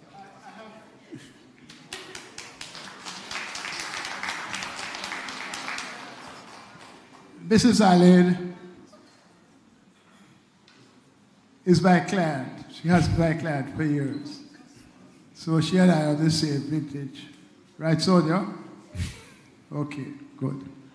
So I understand her thinking. And a lot of the things that she spoke about, which the minister will answer to, are not constitutional issues. But she says, why spend the money? Well, from the time Elizabeth died, you know, a lot of the things that we have our police uniform and all sorts of other symbols have to change because it has E to R. Elizabeth II, Regina. The prosecution of criminal cases and a lot of the legal documents are done Regina versus Hugh Small for whatever offense I'm charged for. It now has to be Rex versus Hugh Small. So already, even without any initiative such as that, which is being taken, undertaken by the government and the opposition, we have been put to expense because we are under the coattail of Ca- Camilla and her husband. But let me read to you. Yes, Peter, Camilla on her husband. right. Let me read to you the beginning of the law where Jamaica Parliament changed its own constitution to bring in the Bill of Rights. I'm reading now. Whereas successive joint select committees of both houses of parliament gave further consideration to the recommendations and received and considered representatives by representatives made by members of the public, representations made by a member of the public in relation thereto, and made recommendations thereon. And then it has the date on which the Governor General put his signature on it. Now, therefore, be it enacted by the Queen's most excellent majesty, by and with the advice and consent of the Senate and the House of Representatives of Jamaica, in accordance with the provisions of Section 49 of the Constitution of Jamaica, and by the authority of the same as follows. So even when we have amended our Constitution, it says, by the Queen's most excellent majesty. There are some symbols that need to represent us so that we feel that same sense of the importance of symbols as we feel in relation to our music, in relation to our literature, and in relation to a, sim- a symbolism that is Jamaican that has nothing to do with the royal family.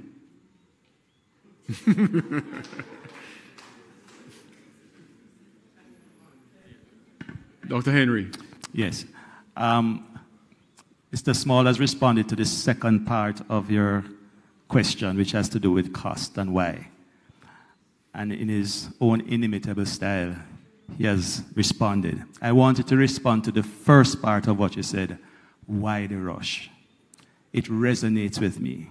This is a process that needs to take reasonable time. And we have shared this very frankly at the committee level. We feel that this is a process that requires public education as a very, very important part of the process. It will involve as well public engagement, as we are doing today, and public consultation. And those consultations must involve, and you have mentioned a number of groups Bar Association, PSOJ, etc., etc. And we do intend to do so. We have actually started that process of inviting groups to come to us. If there are any other groups that wish to come, we are saying, yes, we want um, you to come and speak to us. Speaking from the ministers indicated a government timeline, which he has said they will be backing away from. And it is my desire, speaking very frankly and bluntly, that it is a reasonable time, timeline that facilitates the kind of public education and, and consultation that is needed. But that we need to deal with it step by step and in a timely way so that we don't just put it on the back burner, but we, we deal with it for the reasons that Mr. Small has indicated. Thank you, Dr. Henry. Can I, can I just add, Minister? Dr. Spence. Um, thank you Chair. You mentioned some of the specific groups. I am chair of the Public Engagement and Communication Committee, and I've already been in contact with all the groups that you mentioned. I'm waiting on the Junior Doctors, the Jamaica Medical Doctors Association. I've spoken to the president of the JTA, the president of the, the chairman of the Police Federation, all the unions.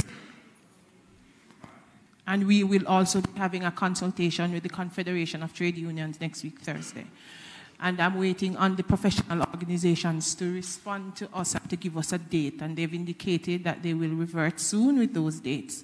So we have been reaching out to all the professional groups, all other civic organizations that are interested, asking them, are you interested in having this conversation with us? We would like to have the conversation with you. So I don't think you have to um, have any fear around who will be consulted as long as we can find a group of Jamaicans, even if you can put a group together that is willing to engage us and have a conversation with us on how you see this process and what you want to be involved in it. You can reach out to us. I've already said to MPs, you know, we want you to start putting the groups in your constituency together, even if it means that we have meetings by Zoom, we will do that. If you need us to come face to face, we will do that. So I think that there's a commitment to public engagement, and as long as there's a group of Jamaicans who want to engage us or want to use us to, to clarify any questions they might have, they can reach out to us and we will make ourselves available. Thank you. Senator? Thank you, Mrs. Allen, for making those remarks. I understand completely how you feel. We have many, many problems that need our urgent attention here in Jamaica. But part of the way in which we can actually transform a country is when we as a people have some pride about who we are. And that's not empty, an empty symbolism. It's, it's, it's filled with possibility. Jamaica, when we see our athletes performing on the world stage, that sense of belonging, that sense of patriotism, that sense of identity is overwhelming. And that is what we want to see when we say that we are Republic of Jamaica. I can tell you that it disturbed me when I realized that King Charles, our king, wanted each one of us here to pledge loyalty to him. We are his subjects. And on top of that, we cannot go to visit our head of state unless we pay a lot of money to get a visa. We cannot access our final court of appeal unless we pay money to get a visa. These are important things. These are important things for this generation and the generation to come. Listen, this is a momentous act. It is probably the first and only time that you will see the government and the opposition on the same stage saying the same thing. Because if we don't do that, if we don't do this process as united people, we will not succeed. And here is a remarkable thing about it for me. This is a time when the people's voice has to be heard. This is a time when the people will understand what a real democracy is because Parliament can't do this for you. You have to do it for yourself. Never before, never before has independent Jamaica embarked on this journey. And it is a very, very important and significant journey. And I want you just to reflect on it, to reflect on the possibility of a rebirthing of Jamaica, a constitution that impacts the people, a constitution which the people will feel a part of because they had a say, a transformational act when we can ask that our leaders be held accountable, when we can, as somebody says, look at fixed terms, when we can define exactly who we are as a people in a preamble. That is important. And that is why I am appealing to you all to go out there and advocate for us to decolonize. Go out there and advocate for everyone who can vote to register to vote in this referendum. That will return our Constitution to the people, and that will define who we are. Thank you, Senator.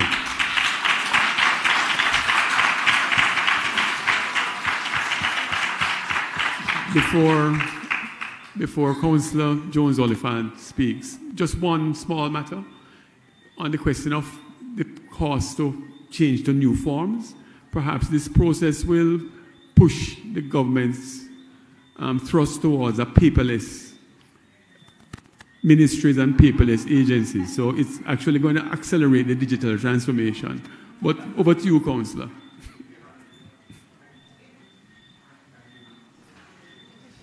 It's working, I think. Try again. Yeah, man. Yeah.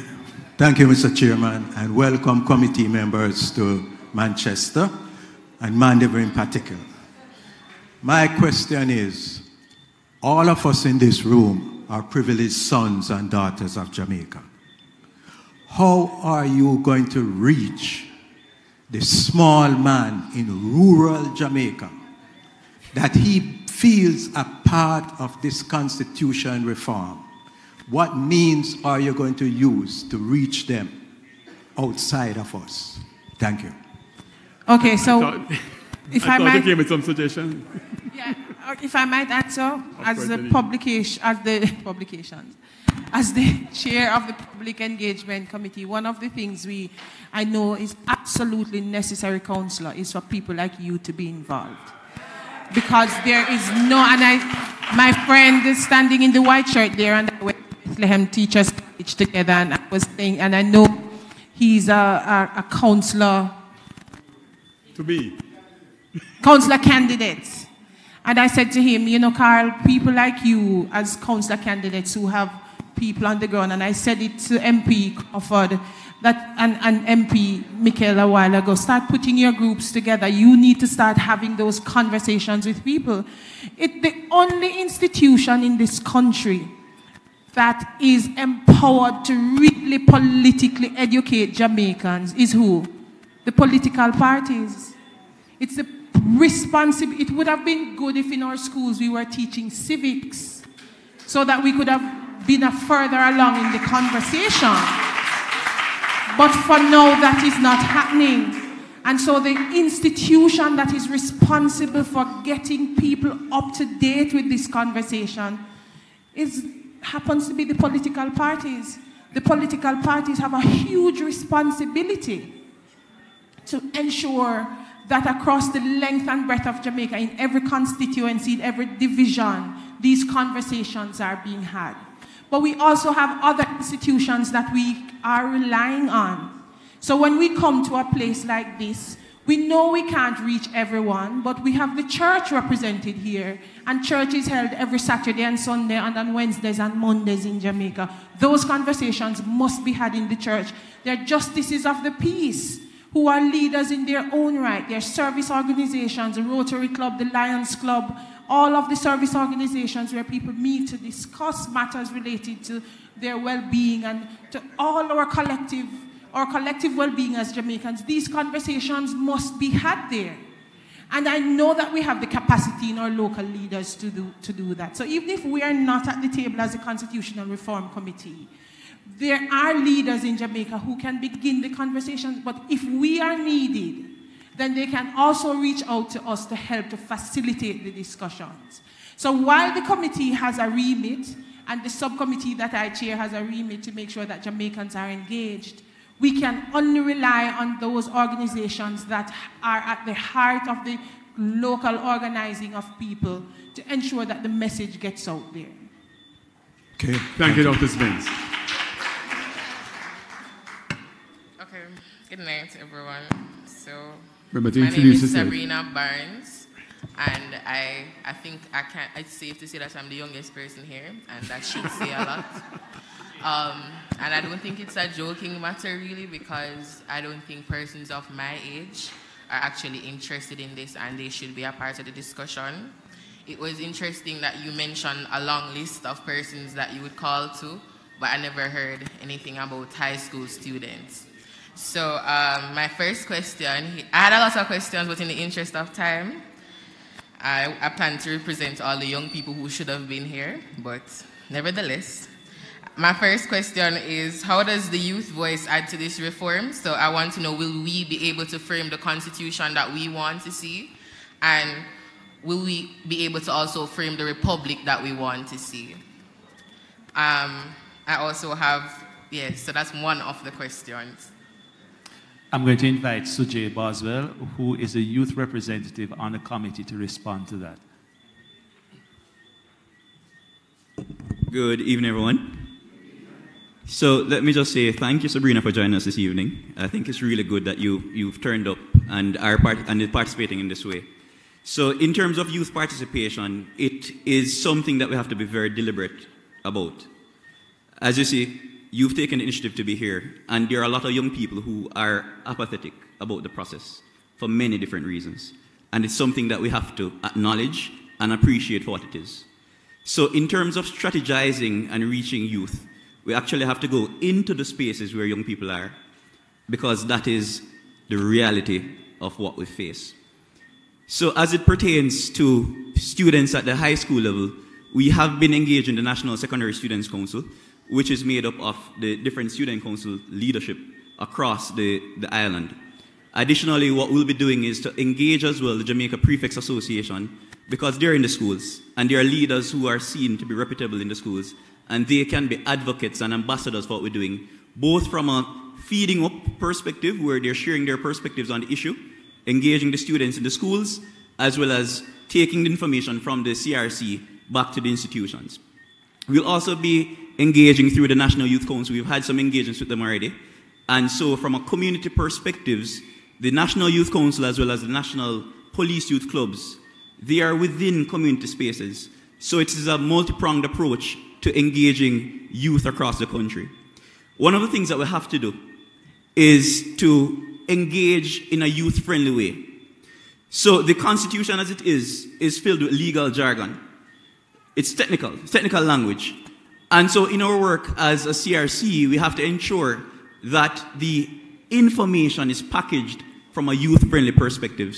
And so what we're doing is that we're engaging with different partners to break down the language. We'll also be rolling out a poll very shortly, and we'll be focused on young people in high schools as well.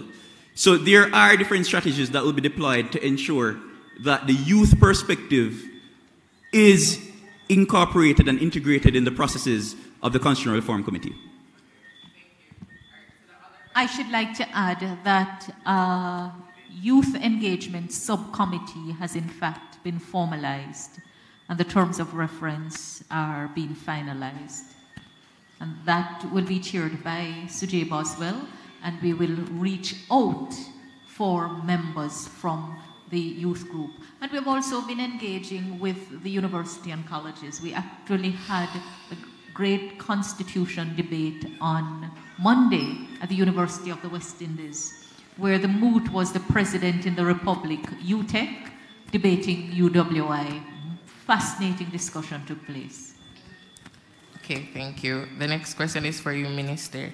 Will this reform reignite the discussions of repatriations and reparations? Because we're talking about, you know, Jamaica being for Jamaicans officially. Um, so will we start to get back what is ours?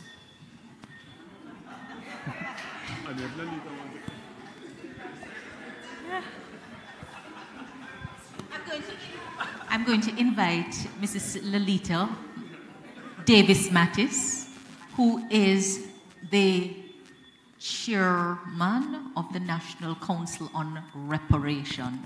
And her presence on the committee should tell you something. But it is my hope that yes, yes, we will get back a lot, beginning with belief in self, that we are good enough, regardless of the color of our skin, that we're good enough. Belief in each other, that we can take decisions in our best interest. Belief in our integrity, belief in our humanity, that we can treat each other better. Because you see, once we start believing in ourselves and our own self determination, then we can get back some of the more tangible things that I think have been stolen from us.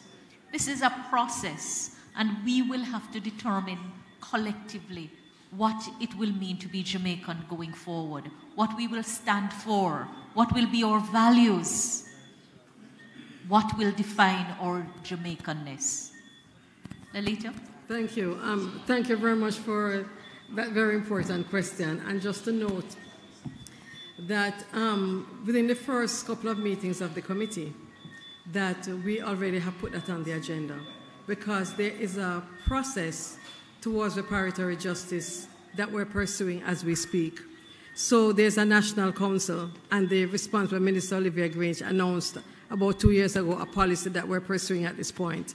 There are different machinations in that entire process, but it is also very much closely aligned to what we are doing now.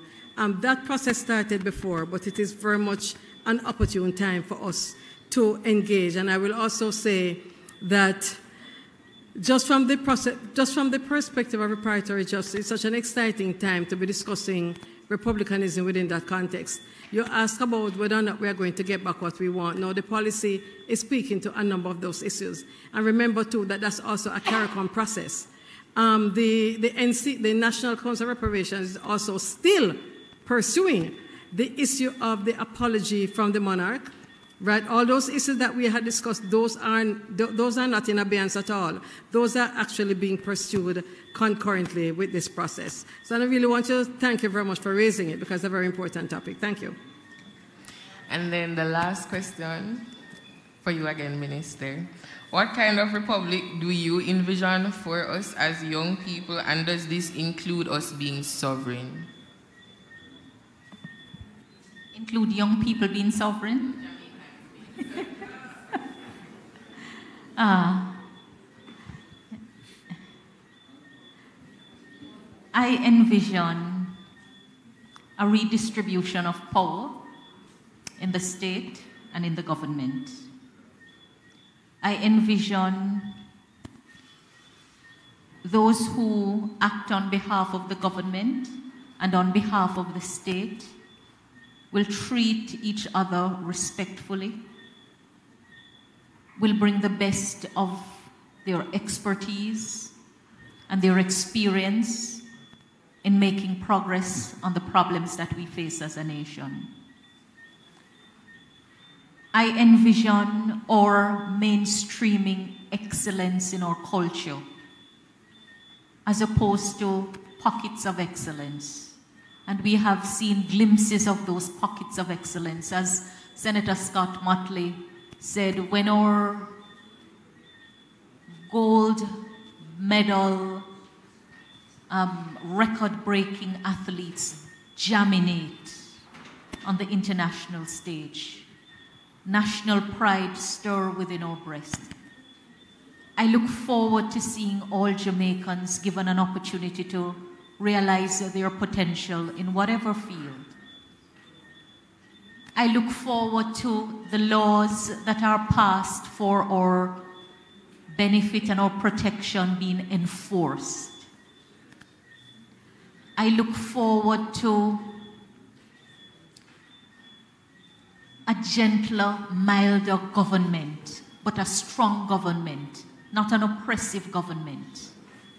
I look forward to all respecting each other more. And I look forward more than anything else that the people who are set to govern us do not appear to be replacing the colonial masters.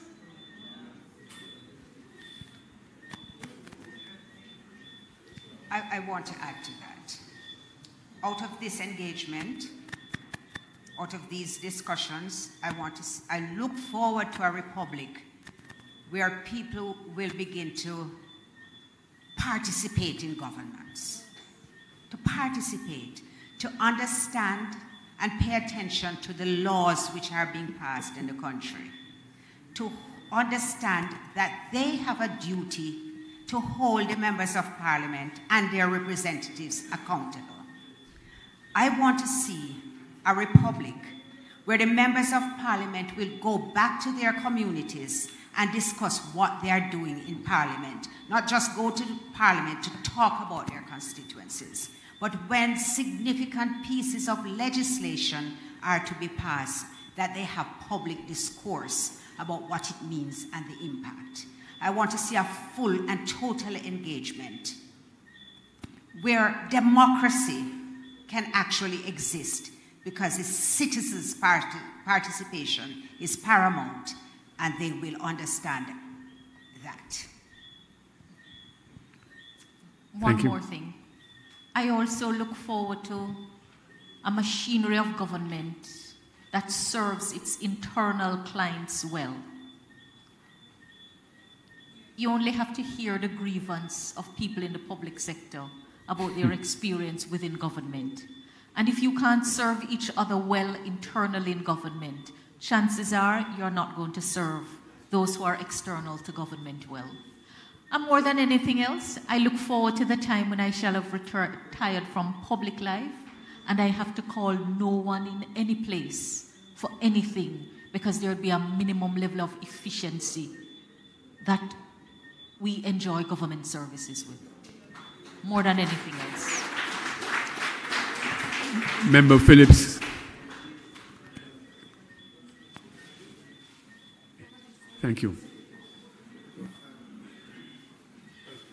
Just, two things, and I, I, the first one is related to Auntie Sonia, because part of the issue of why, as a parliamentarian, to that I want to see the change is that there are some of us in parliament that refuse to say a prayer. Yeah?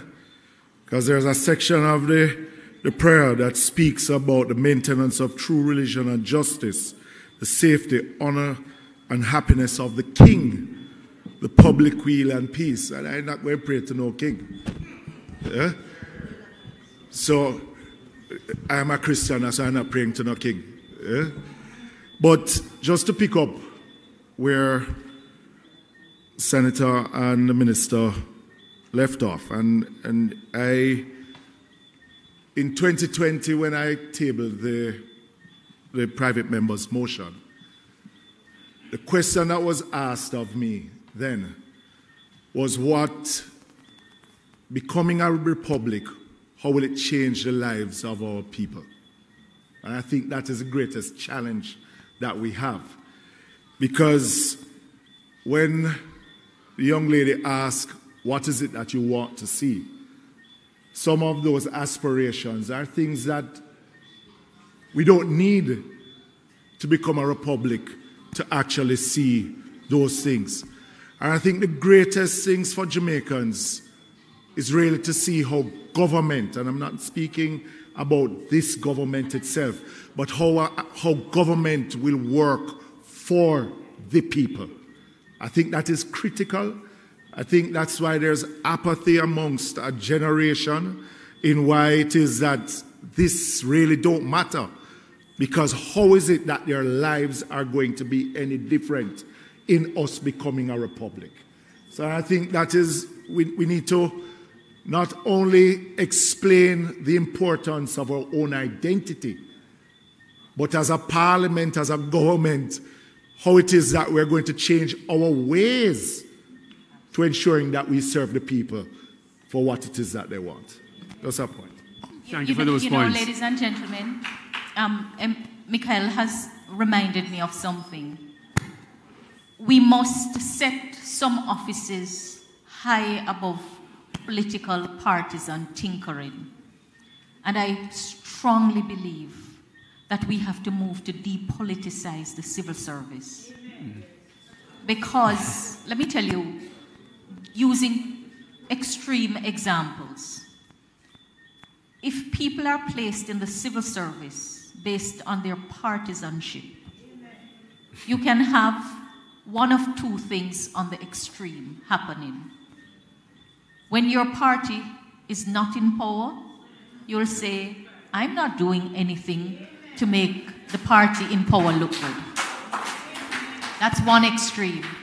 Or you may find on the other extreme, I don't have to do anything because my party is in power, nobody will fire me. it's really in our best interest that sensitive appointments be placed in the office of president, which would sit above the political offices, and that we move to safeguard sensitive appointments because of the impact that the functions and powers to be exercised will have on the people. Thank you, Minister.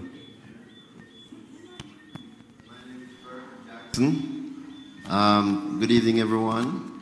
Uh, Minister, members of the committee, moderator, MPs. The referendum that we had was highly politicized. And people, a lot of people didn't even know what they were voting for. They voted based on what each political party suggested to them or preached to them to vote. What are we going to do this time to minimize that? Now, we know that we have freedom of speech, right? And the politicians, MPs, caretakers, um, counselors are very influential to people, especially those people who are minimally educated, those people who do not read much, do not listen to the news, do not, are not aware, are not, not aware of what is happening. They just follow what the MP or the political leader says or suggests. What are we going to do this time to minimize it? Are we going to gag the politicians? I mean, everybody is due free speech, but maybe we should say you cannot express your opinion in public. Keep it to yourself. Well, Senator Scott Mottley and I are politicians. She's in um, the Senate, I'm in the House of Representatives. We have MP Mikael Phillips and MP um, Rhoda Moy Crawford. And uh, among the four of us, we are on different sides of, of the aisles. We were discussing internally within the committee the dilemma that we face. And I said in an earlier meeting that when Senator Scott Mottley spoke on the issue, it brought such clarity for me. We are expected to agree across the political aisles in order to have a bill put to the people for their approval. The process is a long one, and if we get too close to an election, the real question is how will we campaign since we are competing? It's a competitive political space, and it is something that we continue to ponder. It is for that reason why, when we're looking on the timeline for the bill, we had counted backwards from the end of the life of the parliament, give and take, and how long it would take to pass the bill through all of its stages, including putting it to the people for their approval. And that's how we arrived at what has been viewed as a rush or an ambitious timeline. But if we don't do it in the life of this parliament, when will we do it? When we look back on how, how much talk was done and it never happened. If we didn't have a timeline to do something, chances are, important as this forum is, it wouldn't be taking place. So it's the million dollar question. It is my hope that since the committee is constituted as an advisory committee, including, among others, representatives from both sides of the parliament, or agreeing to a process, that we will honor that process. And internally, within the committee where recommendations are to be made for consideration, that any view of the government or opposition, PNP, JLP, could be brought to the committee through the respective representatives so that we can have the benefit of other members of the committee thinking on it. Because if, if, we, if we agree that now is the time to make the change, even while we must educate and engage. And we don't take the step to get a bill in the parliament to make the amendments, the change will never happen. So it's going to be a test of our democracy, of our maturity, and whether we can truly rise above the natural instinct of partisan competitive politics that we have not practiced very well, but thankfully in spite of the practice, we have not had instability around transitioning from one administration to the next. But, but it is something that um, I think all of Jamaica will be looking to see. I certainly know that um, I am proceeding in faith because if you don't believe something can happen, it will not happen. And um, I'm, I'm grateful for the very constructive manner in which the opposition members of the committee have engaged the process. But I also recognize that um, all of us have constituents that are bigger than the space of the committee, and sometimes things happen that we have no control over. But it is my hope that not just good sense, but better sense will prevail, because we have too many examples of how not to do it, and very little example of how to do it. But I do believe that we are capable. Senator? The, the other, the other um, comment is that if the referendum, the result of the referendum is that we form a republic, that I would like to suggest that as we, as the form of the republic um, is, is decided upon, that one of the pieces of education papers that you put out to the public is a comparison between what our format is and what the format of the United States of America is. Because a lot of us have either lived in the United States of America or we watch a lot of TV programs, CNN, and so forth, and we are somewhat familiar with that system. So if we make a comparison with that system, I think it will be a lot easier for a lot of people to grasp what it is that our system is to look like. Thank you so much for that suggestion. We're fortunate to have a international constitutional law expert. I hope he is tuned in, and I'm going to task him um, with providing us with that comparative frame between the US and what it is that we will ultimately propose. But thank you so much. Our, our colors, our national colors, are black, green, and gold. Hopefully, we'll keep those colors in the new republic.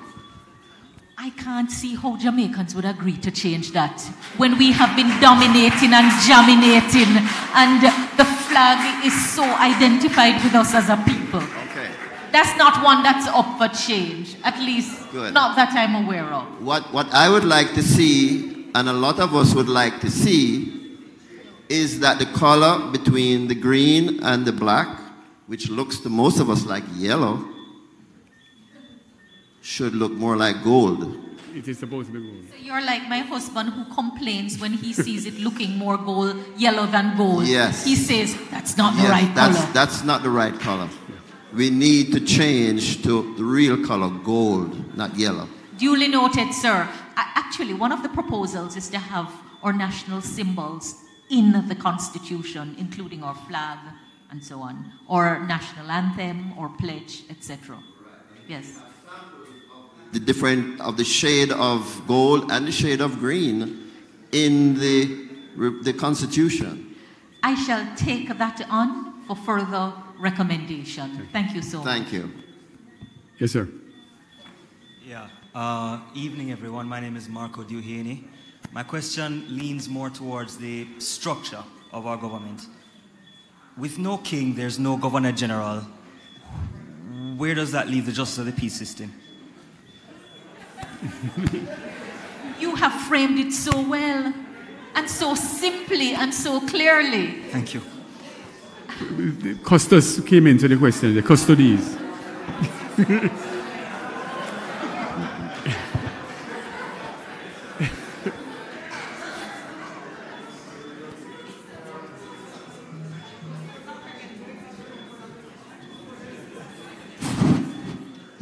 Justices of the peace are created by our own legislation, by our laws, and they will continue.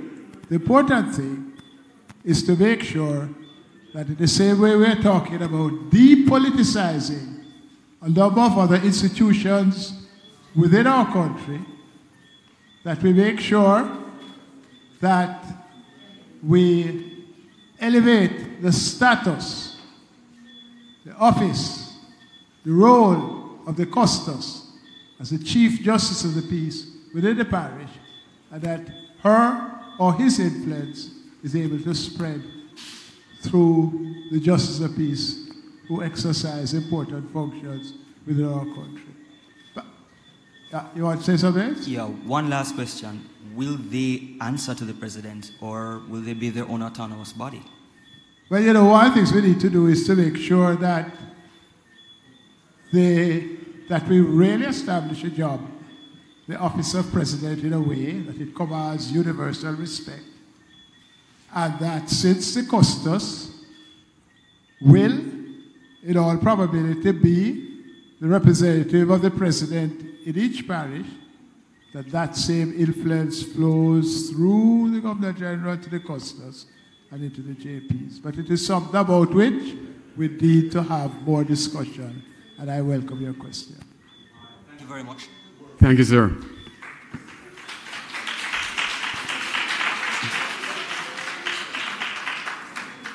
Good night, everyone.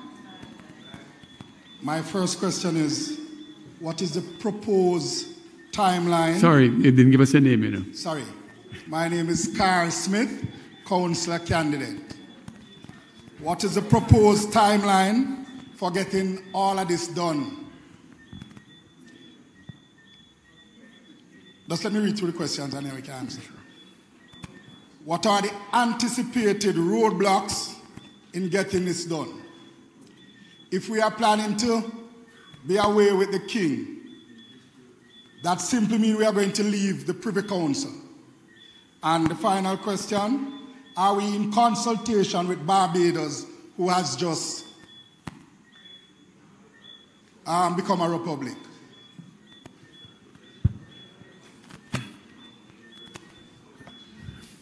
When we formally began the work, we'd set out in the terms of reference, we'd agreed in the terms of reference to a timeline for tabling the bill by or on May 30, which would be another two weeks.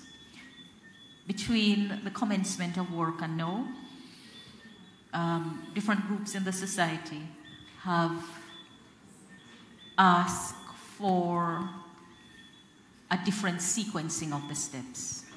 So normally, the deliberations would be informed by the views as we understand them, including from direct consultation.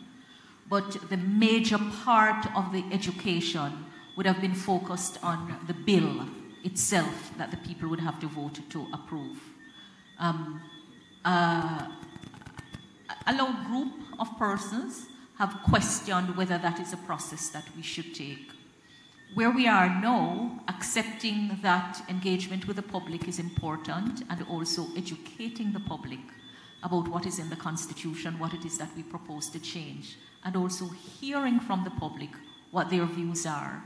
We have suspended the timeline to then make an assessment of what the process of engagement will yield.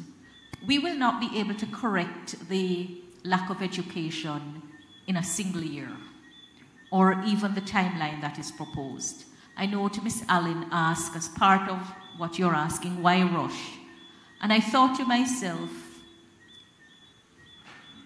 it's interesting to hear a perspective that says trying to implement recommendations made 30 years ago would be regarded as a rush. But I think the other part of it is really know that you have told us what you're going to do. Give us some time so we can think it through. The goal is to, is to do this work before the life of this parliament comes to an end. And if that is to be done without our getting in the crosshairs of election, then we will have to table a bill sooner than later because of the time that it will take to go through the process um, to meet the requirements of Section 49 of the Constitution, which sets out the process for amending the Constitution and also the holding of a referendum, meaning taking the vote of the people to approve the bill that would have been passed by Parliament. Thank you. The second question was what are the anticipated roadblocks you're seeing? I think um, people have been trying to wrap their minds around the phasing of the work. Some want everything to be done at once, and there are also a number of points of grievance in the society that people want to be heard on.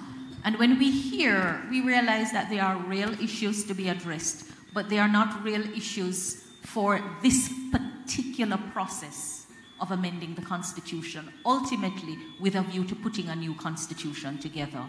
Um, I, I think there are some. Nadeen, you want to add to any of the anticipated roadblocks that you see? Yeah, I think, I think, Carl, one of the thi- thanks, Minister. One of the things that we have talked about is, and, and I particularly, and I think other members of the committee have talked to the Minister about really engaging the Ministry of Education about putting civics back into schools. And I hear that there are some schools that teach civics. Um, and, but we need civics to be um, substantially developed, and, and our, our young people need to be taught how it is that we engage this process of the Jamaican democracy, you know? Um, so I think that is one of the realities that we have come to terms with. I think the other thing is um, we have to pay attention if, if it is, for me, if it is that we are, so this referendum demands, I think, that both political parties be on the same team, right? Singing from the same hymn sheet, saying the same thing. If both political parties don't, we are not going to have a successful re- referendum. And a successful referendum for me is one where, as a nation, we agree that we want to be a republic. So, to me, that, that for me is a huge issue. If both political parties are on the same team, then this is something that can be done easily. Easily, easily. Because as I said to you, Carl, I've lived here long enough to know that if our members of parliament want to get this knowledge into the minds of the people, this can be done just. But again, I think for me, that's the biggest roadblock. The lack of education around who we are as a people and our political institutions and the kind of tenuousness of our politics. And I think, in regard to the tenuousness of our politics, I sincerely hope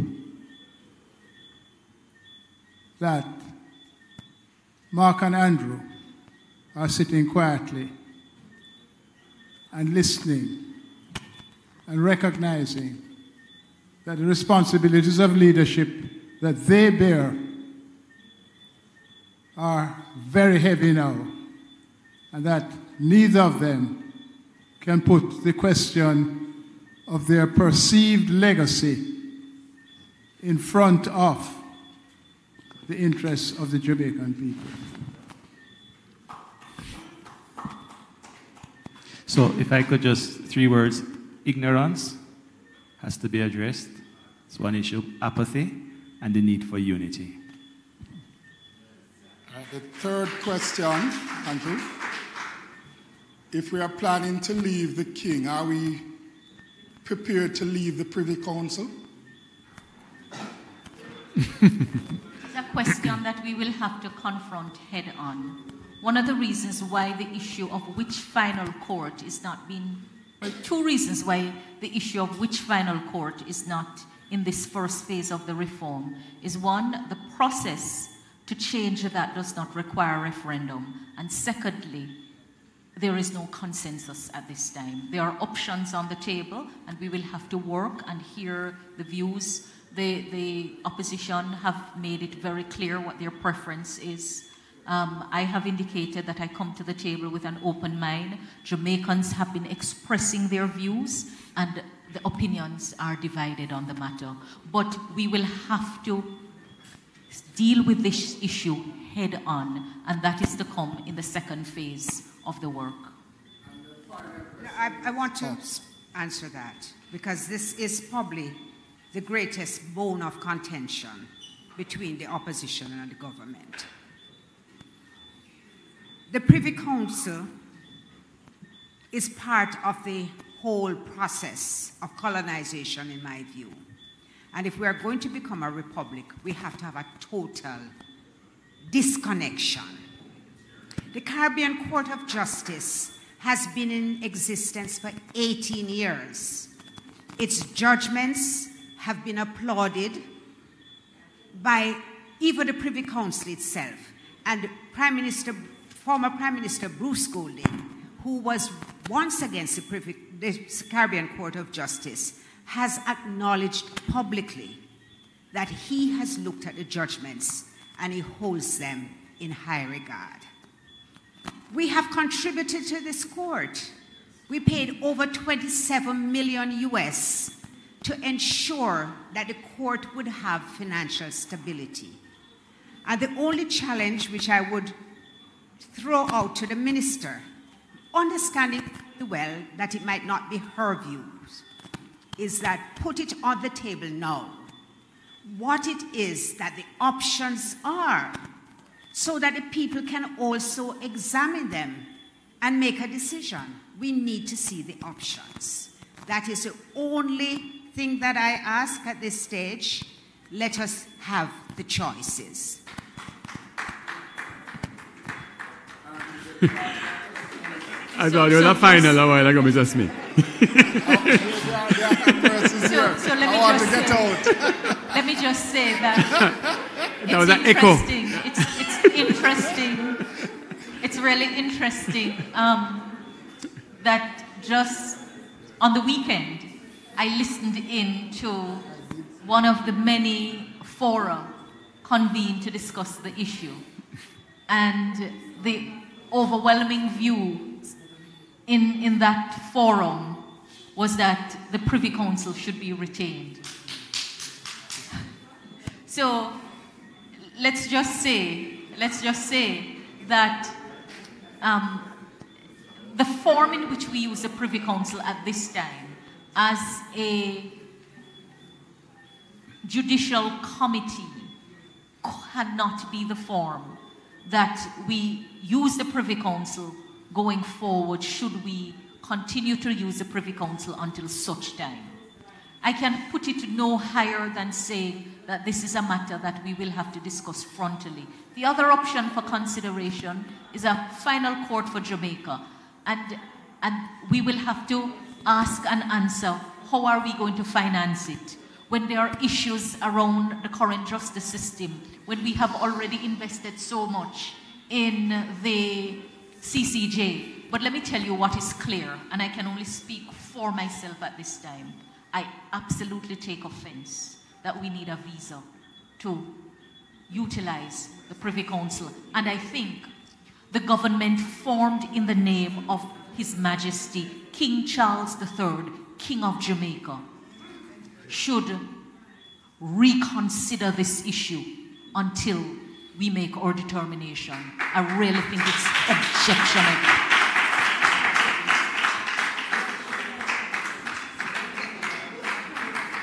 Are, No, are, no, more, we, are we in consultation with Barbados? Can I say this, Carl? We're in consultation with so many countries. When I got the package for this committee, it was a huge book with whole heap of constitutional reform, Mauritius, Barbados, uh, um, and we have constitution. One of the things that people had taken issue with at the time when the committee was constituted was that there was somebody outside of Jamaica on it. One of the things I learned was that our constitutional expert. Dr. Lloyd Barnett, sits on so many other con- or or participates in other constitutional reform process. So from his knowledge and the knowledge of the other international expert at the table, we draw on the experiences of several other countries, South Africa, Mauritius, yes, Barbados, Trinidad and Tobago, um, all the other countries that have gone through this process, and learning as well about how other systems that we are exploring are dealing with some of the hard issues that they have to deal with. So we are drawing on not just Barbados, on the lessons from Barbados, but all the other countries in the Commonwealth who have walked this route and other countries in the world that are engaged, have been and are engaged in the process of constitutional reform. Just to say also that I am part of a, a, little group of law ministers and attorneys general, which include the law minister and attorney general of Barbados. And we have discussions behind the scene. We exchange um, lots of information. So, on another level, there is close contact. Thank you. Yes, sir. Your name, and you are the last, you have the privilege of being the last questioner tonight. Good evening. My name is Errol Smith. I just want to ask um, I, it is bantered about by the, um, your team up there that um, consensus will be seek between the JLP and the PNP in choosing a president. I am suggesting that um, or asking if civil society or civil society group can nominate a president, um, a person for president and not just leave it up to the JLP and the PNP because they will only choose persons that they think will feather their nest. And we, civil society, should nominate a persons that they think would be there for them and not for the political persons them that will be running the political, uh, their political agenda. The next thing I would say to um, the minister, I heard she was saying that the president will. So I am getting from her that the president um, she had a fashion, she fashioned a president already because she was saying that civil servant and those boards and all of those things will be um, chosen by the president. So I am saying what I'm seeing now is the president will have free hand to go out and choose the, the, the people that, they, that he think is best to manage all these boards and different things that now the prime minister choose and basically choose his friends and his party affiliates to run these things. So we'll want a president that, that um, will have that authority as president to choose for the people, not for the political people, them to nice stuff, for the people to run these boards and um, different um, organizations that know the prime minister choose to choose those persons. Thank you, Mr. Smith. Thank you. Mr. It- Dr. it- Henry. Let me see if I understand you. So your, your, your recommendation is that the president should be nominated by the people. Yes. Okay. And not by the, the, the, the two The political, political process. Because right now they are minorities. Civil Both- society. Yes, they Right. are minority. Both the JLP and the PNP right now in this present country is minority. So they should have all of those power to choose somebody to rule over us So- consistently. So I just wanted to be clear what you're saying because that they are minority, no, No, the mass I- of the people don't vote for them. Yeah, I, I- I just wanted to say what you're saying resonates with me, but we have to figure out how that could work.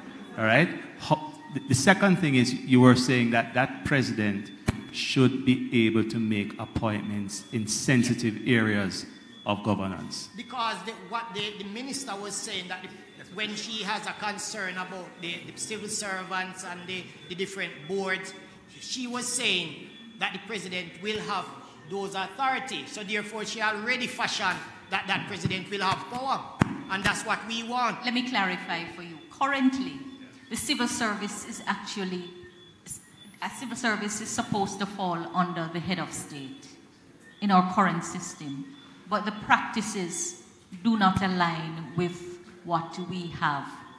I'm pleased to say that where we were 10 years ago, even seven years ago, is not where we are today around populating public bodies, the boards of public bodies. We have actually gone through significant legal reform in that area, and we now have compet- competency profiles, real sophisticated system to address the genuine concern about who gets to sit on the boards of public body and in turn how they are governed. The law, the law by way of regulations, they were approved in the parliament and you can access them at the Ministry of Finance website, you can access them at the parliamentary website. So contrary to what some may believe, we're already way down the road on that. In respect of sensitive offices, it's not just the wide civil service alone, but there are also other important offices. Just to link back, Ms. Allen, you said you wanted to hear what the Chief Justice had to say on the proposal and the group, but the judicial branch of government is actually separated from the executive and the legislative branch. And in the normal course of things, honoring the separation of power, a Chief Justice doesn't get involved in the lawmaking process. After the law is passed, or the, the role of the judiciary and the Chief Justice as head of the judiciary would be to interpret the law, and in particular, to determine whether the law is consistent with the Constitution. So that's a learning point um, that I think all, everyone needs to be aware of. The judiciary does not get involved in the lawmaking process because that, that is a would be a clear violation of the separation of powers doctrine as we have it, separating the judiciary on one hand from the legislature and the executive on the other hand. But, sir, um, I hear you, I hear you about the people having a say. And I think more in than choosing anything the else. president, in choosing the president, not just the JLP and the PNP. Civil Yes. society should choose or Right. nominate somebody that they think can be their I president. have taken note of it. While everyone is raising their questions and their suggestions, I have been noting them. And of Thank course, the, the, the forum is on record. But thank you so much for sharing your views. And point, pointing, sir, to the, the contact information was on the screen where you can send your suggestions, whether by WhatsApp or, or by email. So anyone in here has a developed position that they want to write a paper to the committee for us to consider, you, the, the contact information, it's not there now, but at different points, there you go. You can send your information to the contact information on the screen. Okay, thank you. Thank you, thank you, thank you. Democracy ultimately rests on a higher power than Parliament. It rests on an informed, cultivated, and alert public. The members of Parliament are only representatives of the citizens.